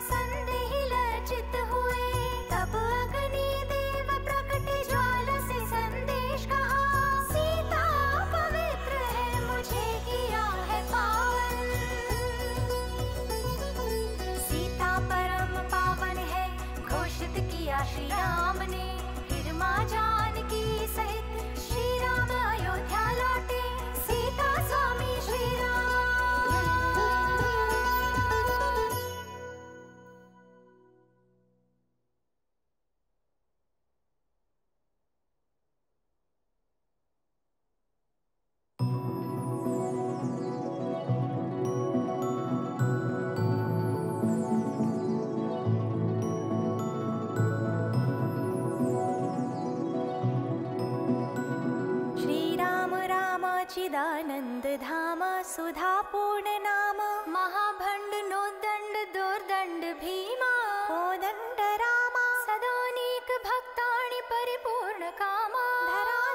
स्वामित्रिप्रेमाभिरामा सूर्यामया बोधिसोमा।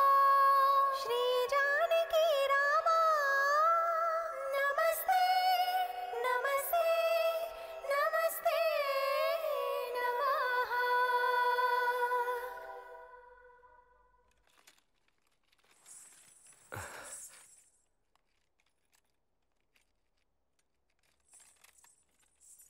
चिरंजीवी बालकों तुम दोनों कहाँ से पधारे हो? ये रामायण कथा तुमने किससे सीखी? और तुम्हारे गुरुदेव का नाम?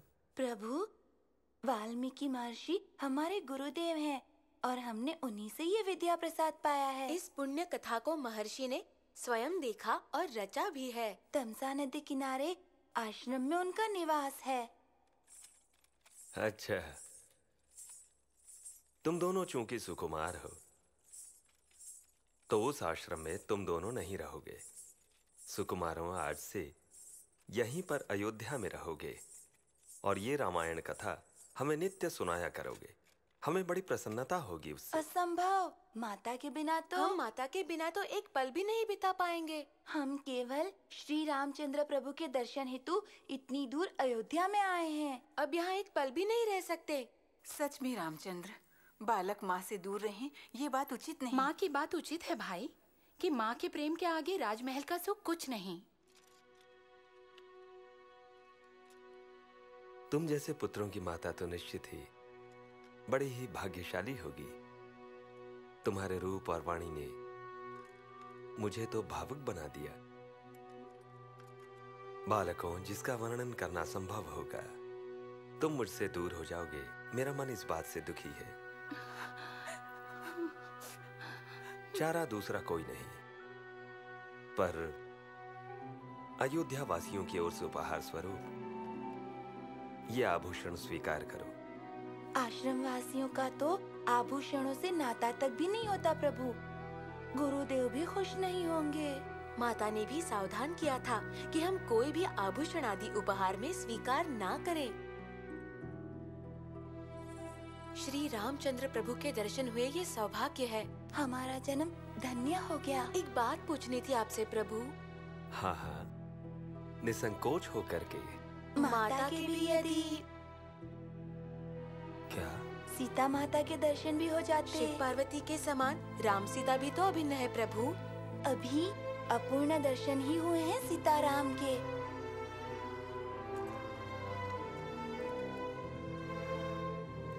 सीता राम दोनों के दर्शन जो साथ में हो जाते तो ये जीवन सफल हो जाता। हमारा जन्म इससे सफल हो जाएगा। माता भी संतुष्ट होंगी। वो बहुत प्रसन्न होंगी।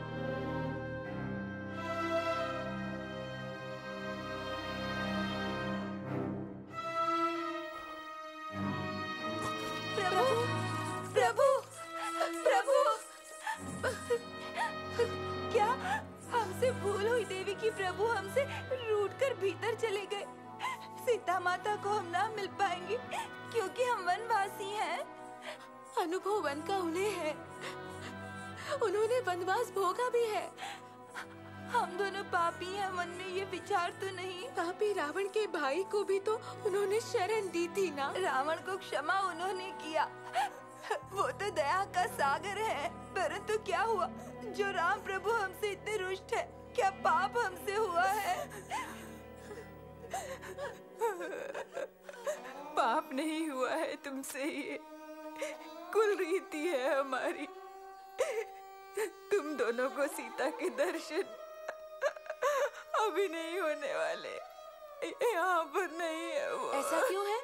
सीता माता राम प्रभु दोनों अलग अलग कहाँ पर है वो? यहाँ से दूर। किसी वन में है वो। किसी वन में है? हाँ किसी वन में है। क्योंकि दुर्भाग्यवश उन पर दोष लगाया गया। तो हमने सीता को अपने से दूर भेज दिया राज्य धर्म निभाते हुए। हमने उस गर्भवती को यहाँ से भेज दिया उसी कर्म का। फल भोगना पड़ रहा है हमें। हरी हरी। घोर पाप। कैसे हुआ होगा? राम प्रभु भी इतने क्रूर हो गए कि दूर भेज दिया अपनी प्रिय पत्नी को यहाँ से।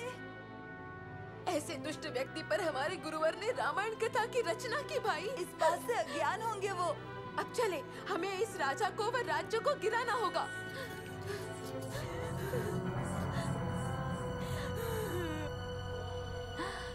आ गए। माता देखो, दोनों भाई अयोध्या से लौट आए।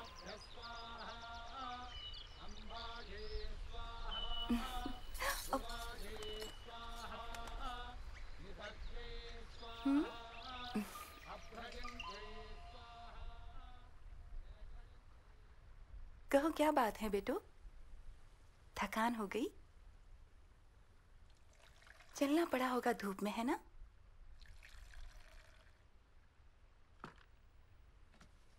अच्छा इस जल से प्यास बुझा लो।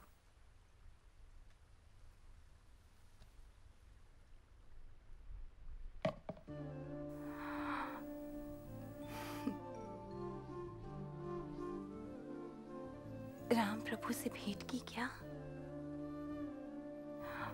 ओ, ओ, वो सकुशल तो हैं बेटे। हाँ, उन्हें क्या होगा माँ? आनंद पूर्वक कुशल हैं वो। केवल वही सुखी है वहाँ। और बाकी के वहाँ सब दुखी है क्या हुआ ऐसा? क्या हुआ है बच्चों? अधिक और नहीं पूछिए माँ। ये राम तो केवल नाम के राजा हैं। मन से राक्षस है वो। हाँ?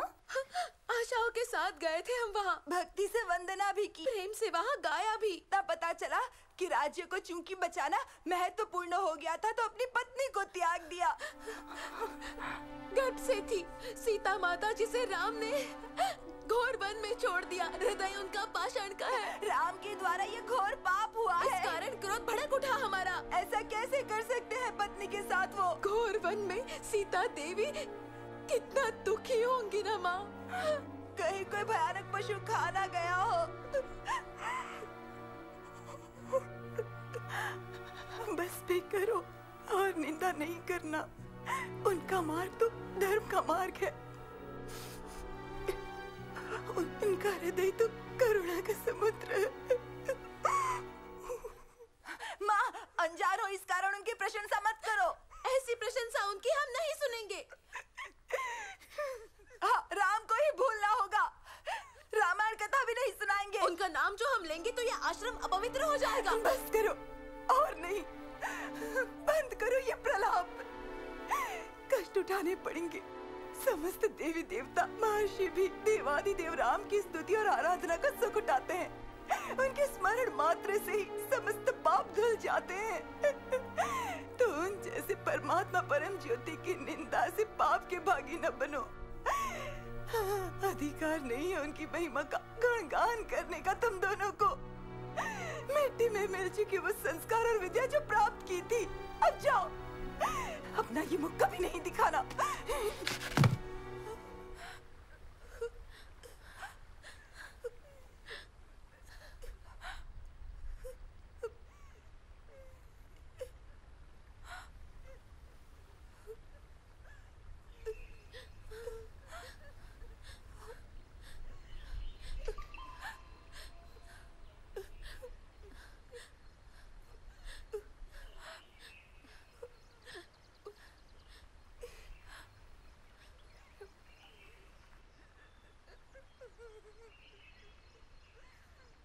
राम राम राम राम राम राम राम म राम राम राम म राम राम राम राम राम नाम गूंज रहा राज मंदिर में नन्हे नन्हे पगों चले राम सुंदरम राम नाम गूंज रहा राज मंदिर में नन्हे नन्हे पगों चले राम सुंदरम। राज मंदिर में बाल राम सुंदरम। मधुर बोल बोलते वे चपल नैन खोलते वे नटखट लीलाएँ पल पल करते वे बाल राम लीला कर वशिष्ठ मुनि को हंसाते राम राम। राम राम राम नाम गूंज रहा राज मंदिर में। नन्हे नन्हे पगों चले राम सुंदरम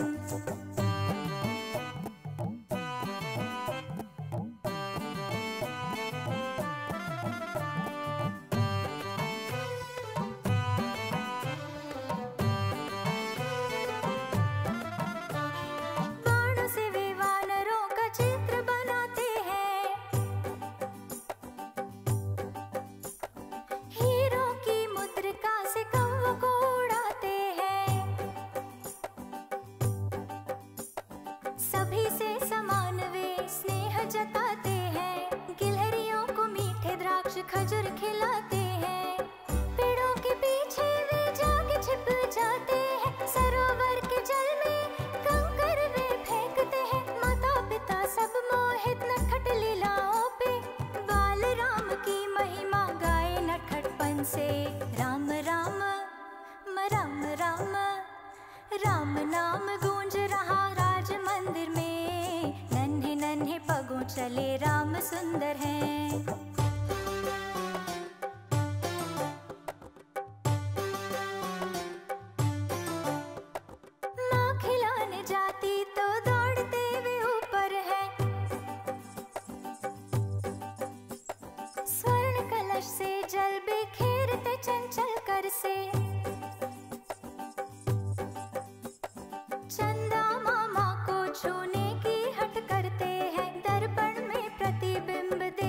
छिप जाते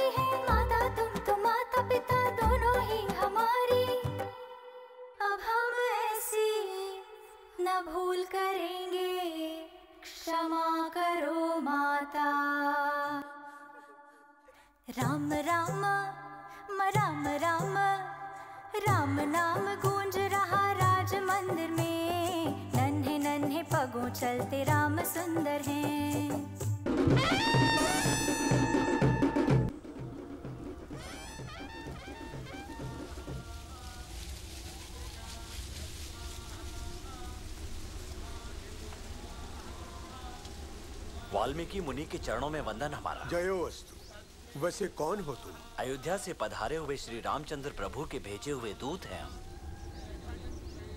राज्यक्षेम और अभ्युदय हेतु प्रभु के द्वारा अश्वमेघ यज्ञ हो इसका संकल्प किया है। यज्ञ होगा?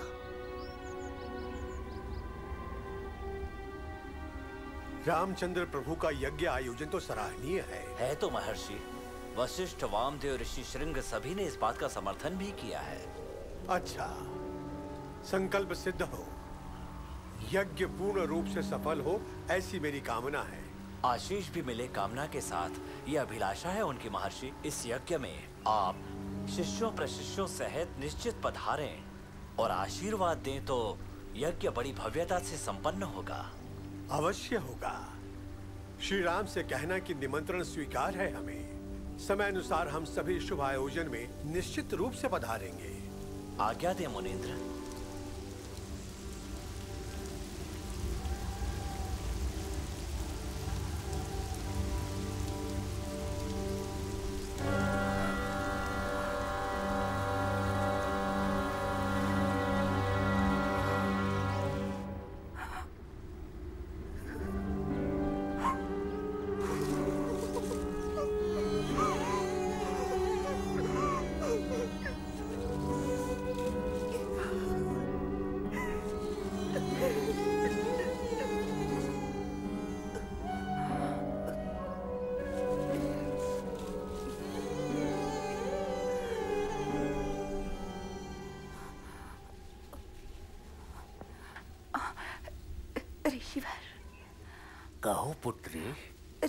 ऋषिवर धर्मपत्नी बिना कोई भी राजा योग्य है कि वो ऐसे यज्ञ संपन्न कर पाए? कैसे होगा? कदापि नहीं होगा। भार्या बिना राजा भी यज्ञ संपन्न नहीं कर पाएगा। सूर्य नारायण माता वंदन स्वीकार करें। क्या बात है? कोई आवश्यकता? फूल चुनू मैं तुम्हारे लिए। लोक लक्षक माँ, मन में एक संदेह है। क्या है वो कहो ना? लोक लक्षक माँ, धर्मपत्नी बिना क्या कोई पति यज्ञ संपन्न कर सकता है? कैसे होगा? असंभव बात है। कोई शास्त्र इस प्रकार यज्ञ की अनुमति कभी नहीं देता बेटी। मान लो कि प्रथम पत्नी स्वर्ग सिधार गई है। तो पुनर्विवाह वो व्यक्ति करे और भारिया को अपने समीप ही बिठाए और फिर यज्ञ संपन्न करे। दूसरा कोई चारा नहीं है।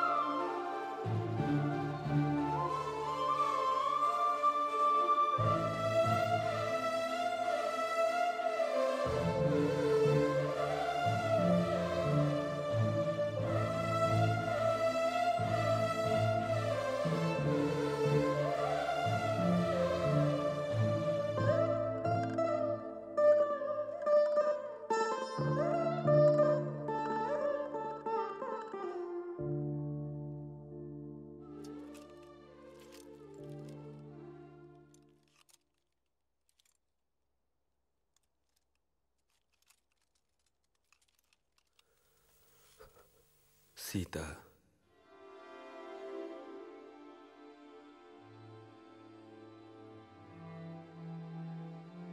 सीता प्राणेश्वरी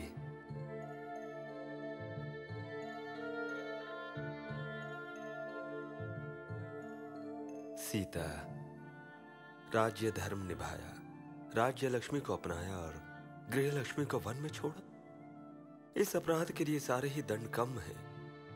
इस पाप का ना ही कोई प्रायश्चित है। मैंने अपने से दूर भेजा है तुम्हें, किंतु हृदय से दूर नहीं हो पाई। राम के इस मन के मंदिर में बसी हो, खुली हो ये आँखें या नहीं, पर दिखती हो।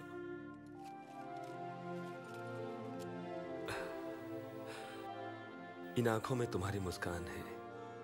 सौंदर्य जो अनुपम है, सौरभ फैला रहा है। ये सुगंध ये सुगंध मेरी सीता की है।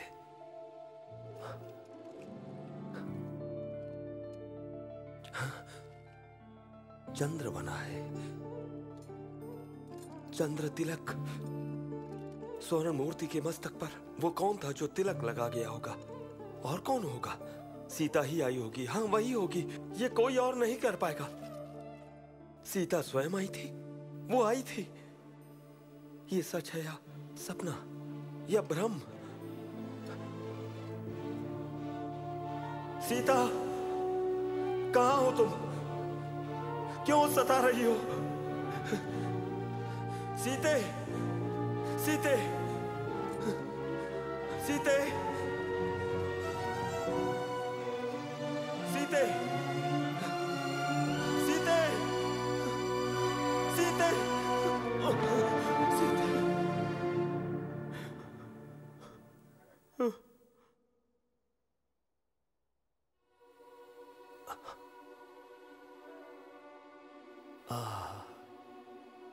मधुर स्पर्श।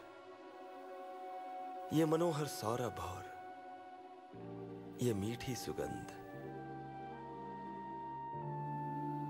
ये सीता की ही है।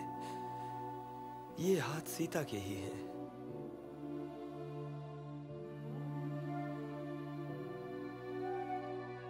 सीता, ना जाओ। ऐसे छोड़कर ना जाओ। हाँ, सीता सीता सीता! आती हो अदृश्य भी पल में हो जाती हो। क्यों सता रही हो? अब ये आँख में चौली मत खेलो। सीता ये राम तो हृदय बेहन है। सीता किंतु दयामयी है। धरती पुत्री कहलाती हो। दया ही है आभूषण तुम्हारा। क्षमा याचना करता हूँ। क्षमा कर दो। क्या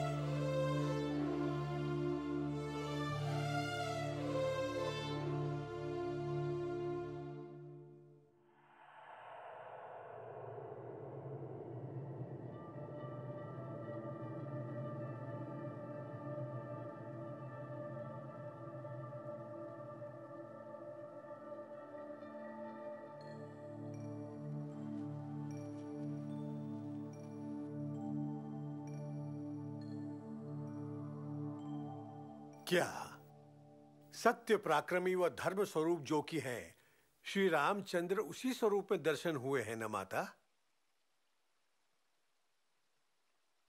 शब्द भी एक बाण भी एक, व पत्नी भी एक, यही है श्री राम का मूल तत्व।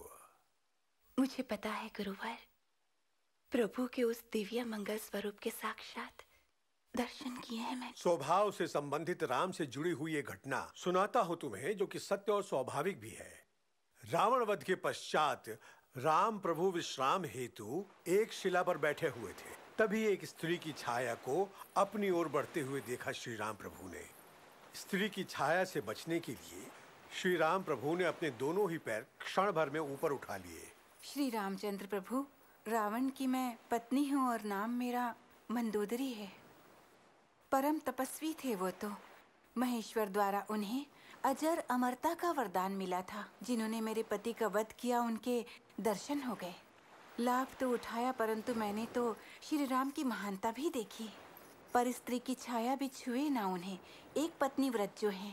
पर स्त्री को पाने की कुछ चेष्टा की तो परिणाम स्वरूप वध किया श्री राम ने। मेरे पति का राम सकल गुण धाम को करती हूँ वंदन में। ये मेरे अज्ञान और क्रोध का परिणाम था कि ऐसा सोचा कि किसी दूसरी स्त्री से विवाह किया होगा। शंका की मैंने। ये कैसा अपराध हो गया मुझसे, उनके प्रति ऐसे विचार। और पाप मुझसे हुआ है। कैसे छुटकारा मिलेगा मुनिंद्र? इसका प्राश्चित कोई है क्या? ये में कैसे सहूं? बेटी आवेश में आकर कुछ उल्टा सोचना मानव का स्वभाव है इससे कौन बच पाया है? अब चूँकि भूल प्रभु के समक्ष स्वीकार चुकी तो मन में पश्चाताप नहीं होगा। सच में यही प्रायश्चित है बेटी। ये नहीं होगा। मन वचन कर्म से सीता अग्नि द्वारा शुद्ध होगी। आवेश उचित नहीं बेटी। चूँकि इस बात से दुखी हो तो मैंने भी एक उपाय सोचा है। मन शांत हो जाए और उसका प्रायश्चित भी। लोक माता जगदेश्वरी श्री ललिता अंबिका की पूजा का संकल्प करो। धन्य हो गई मैं गुरुवर। बेटी, सावधानी है एक। निष्ठा से ये व्रत करना होगा तुमको। और ये पूजा कमल फूलों से, जिनमें सौ पंखुड़ियाँ हो, रात और दिन बिना रुके करनी है। एक और नियम है, जिसे तुम नहीं भुला सकती क्योंकि ये बहुत ही मुख्य है। इस व्रत में मुख्य बात है कि, इसके आरंभ और समाप्ति के बीच किसी प्रकार का भी कोई विघ्न उत्पन्न न हो। कठिन परिस्थिति में भी ये व्रत नहीं रुकने पाए बेटी। अवश्य गुरुदेव। मेरे स्वामी की यदि कृपा तथा आपका आशीर्वाद मिले तो श्रद्धा भक्ति पूर्वक व्रत को पूरा करूँगी। ये शतपत्र कमल के फूल कहाँ से लाऊँगी? इस अरण्य में ये फूल मिले ये असंभव सी बात है। चिंता छोड़ दो माता। जानता हूँ फूल कहाँ मिलेंगे। सच में? हाँ माता। आसपास के पहाड़ों घाटियों तालाबों आदि का मुझे ज्ञान है। ये कमल कहाँ पर मिलेंगे उसका भी ज्ञान है मुझे। ये फूल पवन वेग से प्रातः और संध्या समय आपके लिए लाता ही रहूँगा। ये बात तो सत्य है बेटी। बाल राजू शक्तिवान है। क्षण भर में कहीं से कहीं पहुँच सकता है ये बाल राजू। माँ माँ हमें भी बाल राजू के साथ भेजो ना। लव कुश।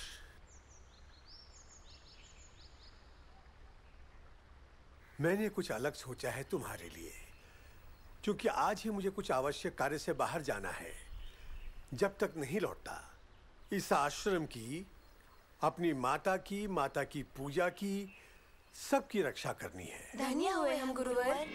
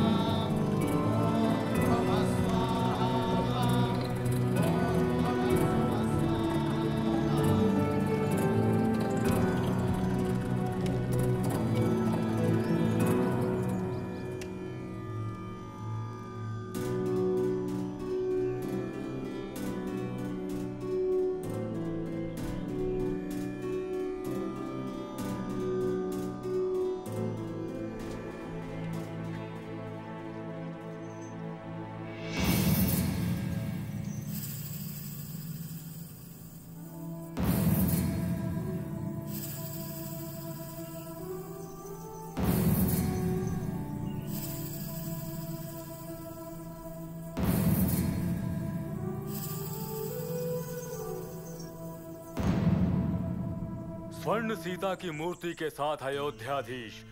श्री रामचंद्र भी विराज कर अश्वमेध यज्ञ का निश्चय स्वरूप आरंभ करते हैं। इक्ष्वाकु वंश की ध्वजा को अपने साथ लेकर प्रस्थान करने वाला यह अश्व अपनी इच्छा अनुसार ध्वजा लेकर विहार करेगा और जहाँ पर भी जाएगा, अयोध्याधीन होंगे सभी वो राज्य। इन सभी राज्यों की रक्षा व सुरक्षा का उत्तरदायित्व अयोध्यापति राम प्रभु के ऊपर होगा। इस अश्व को यदि कोई भी रोकने का या बांधने की चेष्टा करेगा तो उसे अयोध्या संग्राम के द्वारा पराजित भी होना पड़ेगा। श्री रामचंद्र प्रभु के अनुज भ्राता, युवराज जो है लक्ष्मण, वो सेना का नेतृत्व करेंगे यदि युद्ध होता है। सीता माता की जय!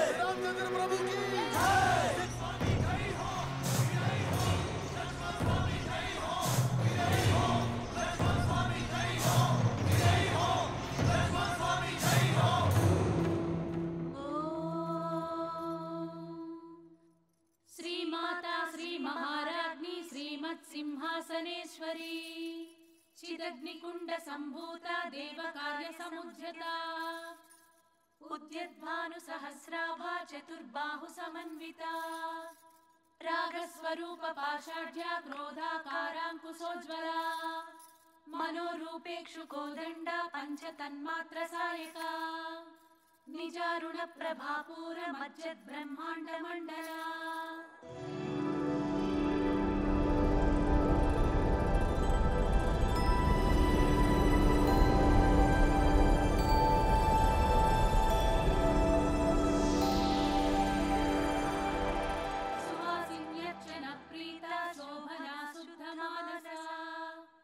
बिन्दुतर्पण पूर्वजा त्रिपुराम्बिका दशमुद्रा समाराध्या त्रिपुरा श्रीवशङ्करी। माँ, माँ, हमें भी कुछ काम दो। ज्ञानगम्या ज्ञानज्ञेय स्वरूपिणी योनि मुद्रा त्रिखण्डेशी त्रिगुणाम्बा त्रिकोणगा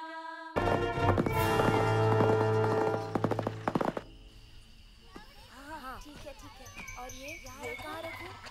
इससे कुछ और फल लगेंगे। अरे ये जाओ लेकर आओ। हाँ हाँ। ए ए ओए उधर देखो। क्या हुआ? क्या है? हाँ?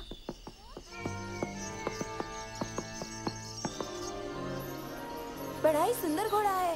राजा महाराजाओं का घोड़ा है ये। आभूषण में मुकुट पहने हुए है। ये तो घोड़ी है। ये तो घोड़ा है। घोड़ा भी नहीं और घोड़ी भी नहीं कुछ और ही है ये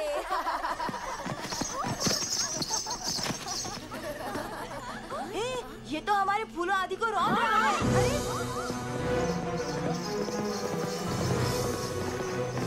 ए, रुको। रुको रुको।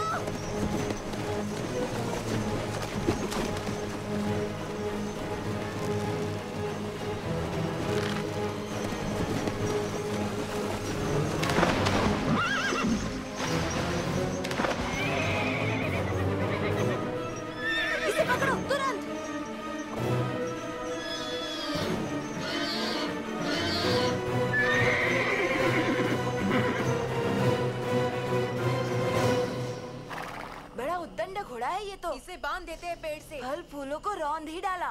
राजा को आने दो उसकी हम भर्त्सना करेंगे। राजा होंगे वो किंतु आश्रम की दुर्दशा क्यों? भैया देखो हाँ? घोड़े के मुख के ऊपर कुछ लिखा हुआ है। राजा का आदेश होगा। ओहो ये तो राजा का घोड़ा है भाई। अयोध्यापति का यानी राम प्रभु का घोड़ा है। ये अश्व विहार करता हुआ जिस किसी राज्य में पहुंचेगा वो राज्य अयोध्या के अधीन होगा। इस प्रकार तो अधीनस्थ होंगे हम सभी उनके भाई। ये मान्य तो हमें नहीं होगा। बलवान है वीर है और हम धनुर्विद्या में निपुण भी हैं। भयभीत मत हो। यदि घोड़े को छोड़ने को बोलेंगे? पर हम घोड़े को नहीं छोड़ने वाले। हाँ? कदापि नहीं छोड़ने वाले। ऐसे तो राम प्रभु के विरुद्ध जाना आज्ञा ना मानना ऐसा विरोध तो पाप होगा। जानते हैं राम धर्म के अवतार है। रामायण में हमने पढ़ा भी है। किंतु अनुभव कुछ और होता है और पढ़ना कुछ और। रावण भी तो साधु रूप में राक्षस होते हुए माता के पास पहुँचा और माता ने उसे भद्र पुरुष समझा पर उसने क्या किया? उनका अपहरण उसी पापी ने ही तो किया। हमें भी लगा था कि राम महानतम पुरुष हैं। जाकर अयोध्या में पता चला कि वो कोई महानतम नहीं केवल बातें हैं। निर्दयी राम ने अपनी ही पत्नी को छोड़ दिया। जो ये घोड़ा यहाँ बंदा रहा तो वो यहाँ आएँगे ही घोड़े को छुड़ाने। तब स्वयं ही उनका रूप देख लेना समझ जाओगे। यदि क्रोधित हो गए। क्या? भयभीत होंगे हम? हम तो वीर हैं। वीरों के वीर हैं हम। लव कुश समान धरती पर। दूसरा कोई वीर नहीं। लव कुश समान धरती पर। माता को पता चला तो? माता को कोई न बोले माता को कोई न बोले वो तो क्रोधित होंगी। ठीक है ठीक है।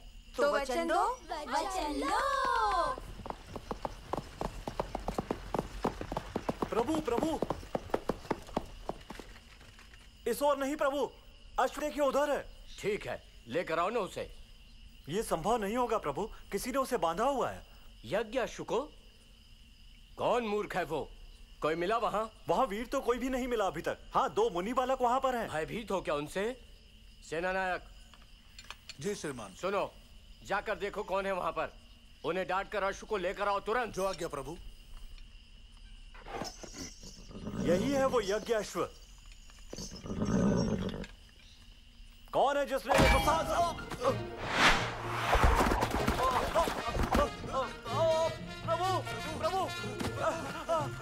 प्रभु, रक्षा कीजिए।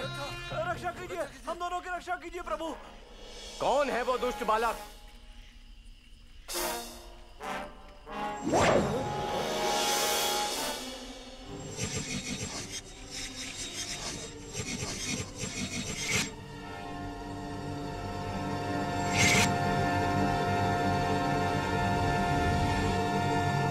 क्यों करते हो?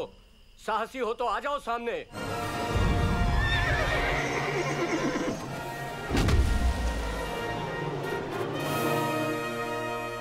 ओहो तो तुमने ही यज्ञ अश्व को बाँध कर रखा है। हाँ हाँ हमने ही बांधा है। जानते भी हो ये जो अश्व है वो किसका है?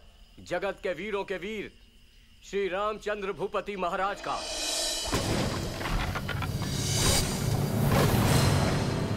हम हैं उन्हीं के छोटे भ्राता लक्ष्मण सुन लिया?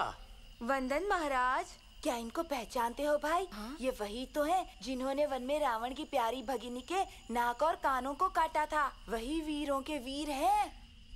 इतना ही नहीं इनकी भाभी तो इनके माँ समान थी। जब वो गर्भवती थी यही तो वो वीर है जो कि उन्हें अकेले इस दशा में वन में छोड़ गए थे। यही है सच्चे भ्राता के भाई।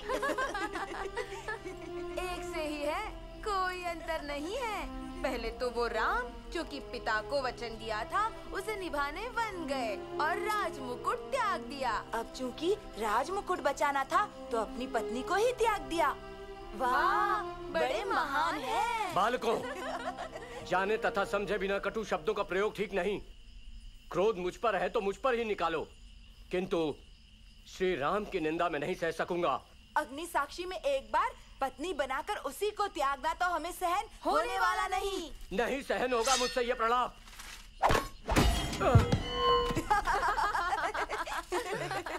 भैया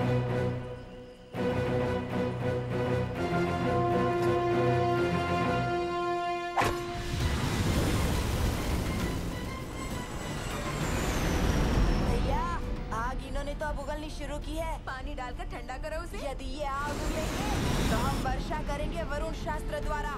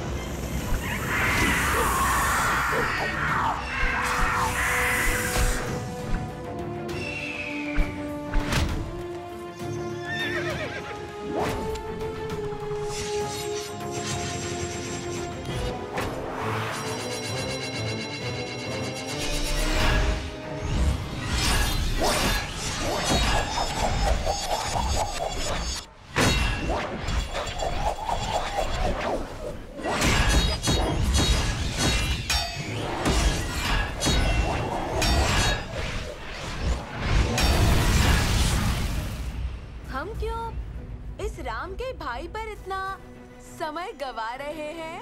क्यों ना इसे लोरी सुनाकर सुला दे? तभी तो स्वयं राम को ही पधारना पड़ेगा।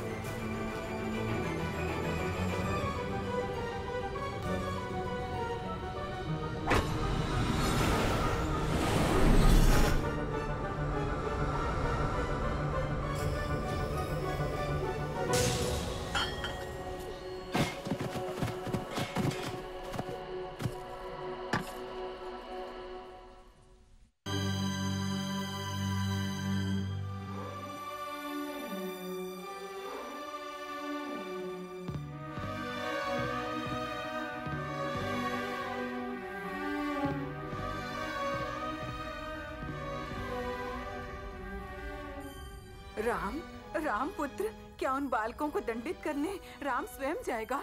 राम का छोटा भाई जिनसे हार चुका हो उन्हें दंडित करना हो।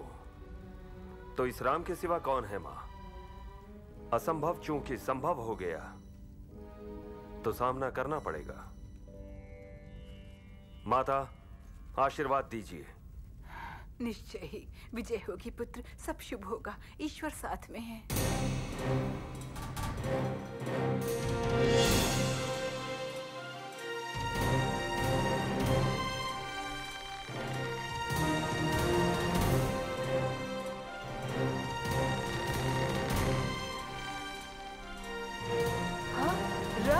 देखो इसी ओर आ रहा है भाई। लगता है वही होंगे उस पर।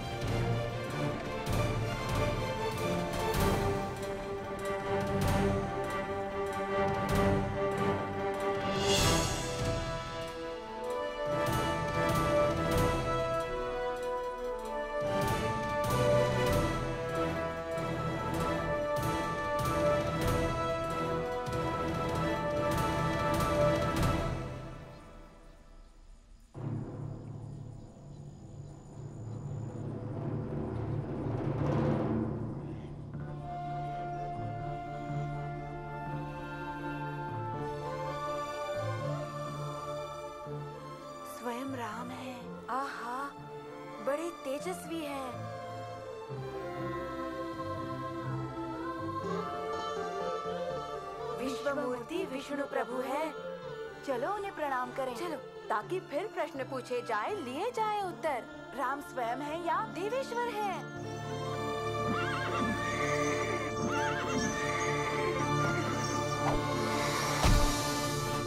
ये नमस्कार भरा बाण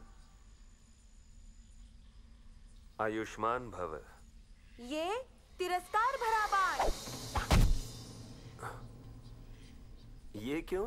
आप हमारे यहाँ पधारे हो, इस हेतु नमस्कार बोला। किंतु अश्वा हम छोड़ देंगे, वो असंभव है। ये तिरस्कार था वो।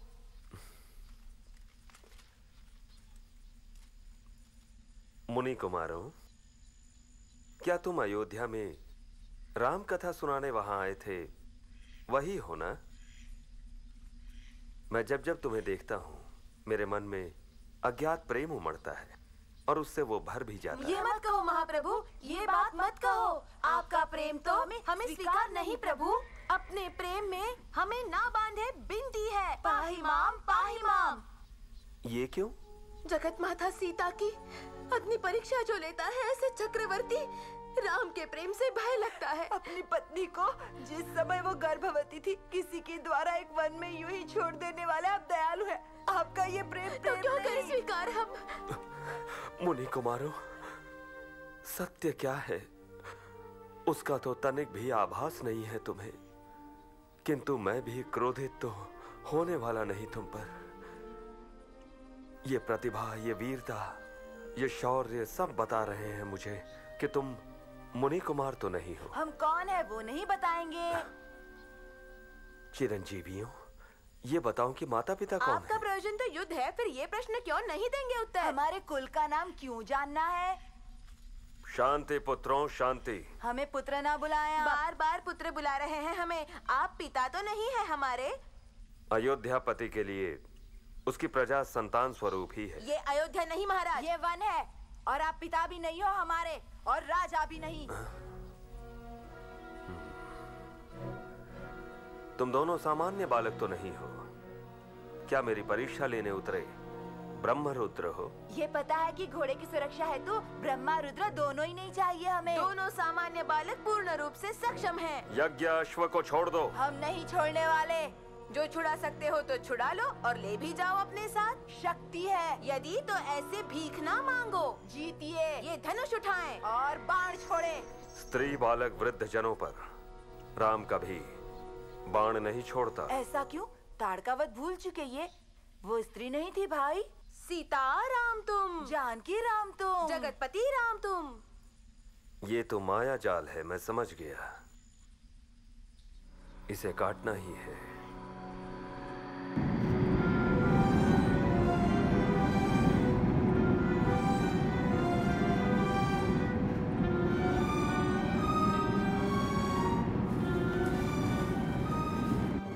बालवीरों तुम दोनों न केवल शस्त्र विद्या में, बल्कि मंत्र शक्ति में भी प्रवीण और निपुण हो। ये मैं जान गया हूँ। और शक्तिशाली कितना है समक्ष खड़ा शत्रु, उसका अनुमान होना आवश्यक है। रावण कुंभकर्ण जैसे राक्षसों का वध जिसने किया, वैसे तो तीनों लोकों में और कोई शक्ति नहीं। ब्रह्मास्त्र से भी संहारक है। क्या तुम दोनों उस रामबाण के विषय में नहीं जानते। जय पराजय तो मानव के वश में नहीं होती इसे भूल गए? इसे आप ना भूले याद रखें याद रखें। याद रखें। माता अनर्थ हो रहा है।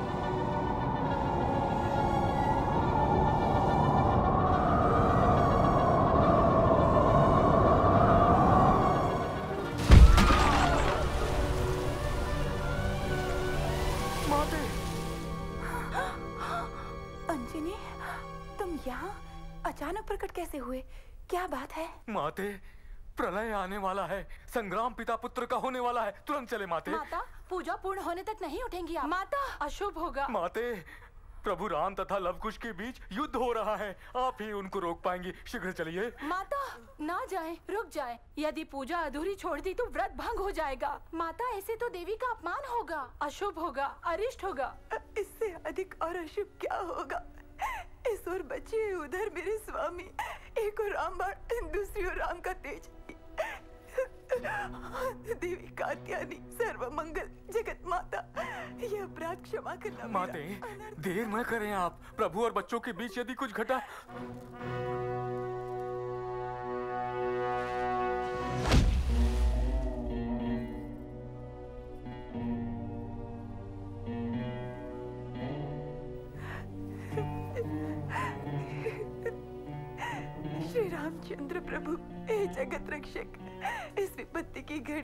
रक्षा अपने वंश की आप ही कर सकते हैं।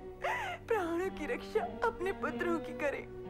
प्रभु, शांति की भिक्षा न केवल मैं मांग रही हूँ अब तो समस्त संसार मांग रहा है आपसे।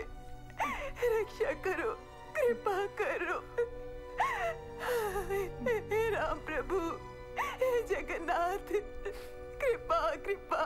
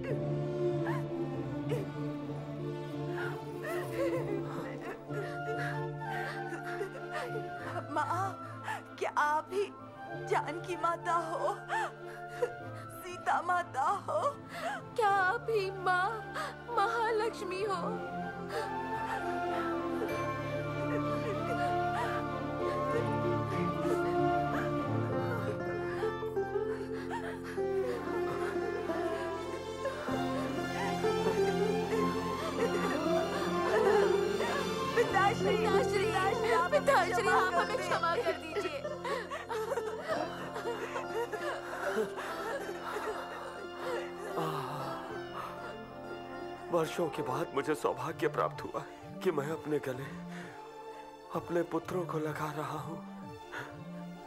ये उपहार तुमने दिया सीता।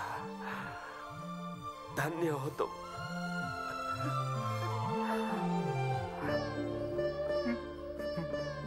आज अज्ञान और अहंकार वश कैसा अपमान किया आपका? यदि इस पाप की क्षमा मिल जाए तो कोई अपराध तुमसे नहीं हुआ पर यह सिद्ध हुआ कि पिता पुत्र समान है। अंत आनंदमयी और संतोषमयी हुआ। आओ।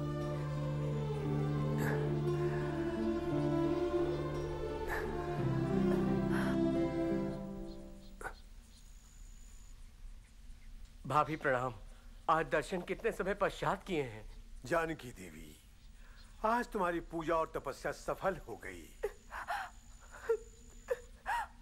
मैं जब आपके आश्रम में आई थी, दुखी थी, परंतु आपने अपनी पुत्री समान मेरी रक्षा की और आपने मेरे पुत्रों को शिक्षा प्रदान की, वीर योद्धा बनाया। धन्य है धन्य है। आपके आशीर्वाद ने मेरी पूजा सफल की और समस्त कर्तव्य भी पूर्ण किए गुरुवर। ऐसा मत कहिए अंत कर्तव्यों का अभी हुआ नहीं। श्री राम भैया अयोध्या अब लेकर जाएँगे अपनी महारानी को। नहीं भैया आकांक्षा आशा कुछ नहीं बची। परमात्मा ने जो दिया वही प्रसाद बहुत है।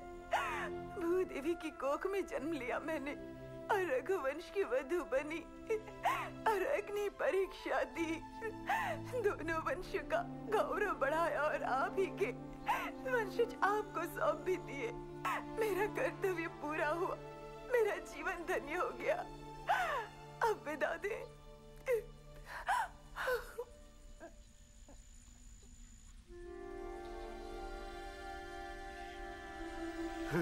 श्री रामचंद्र प्रभु।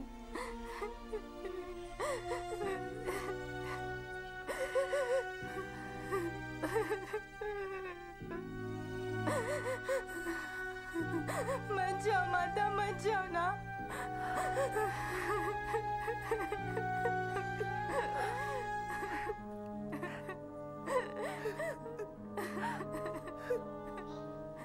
लवकुश अब राम राज्य संभाले।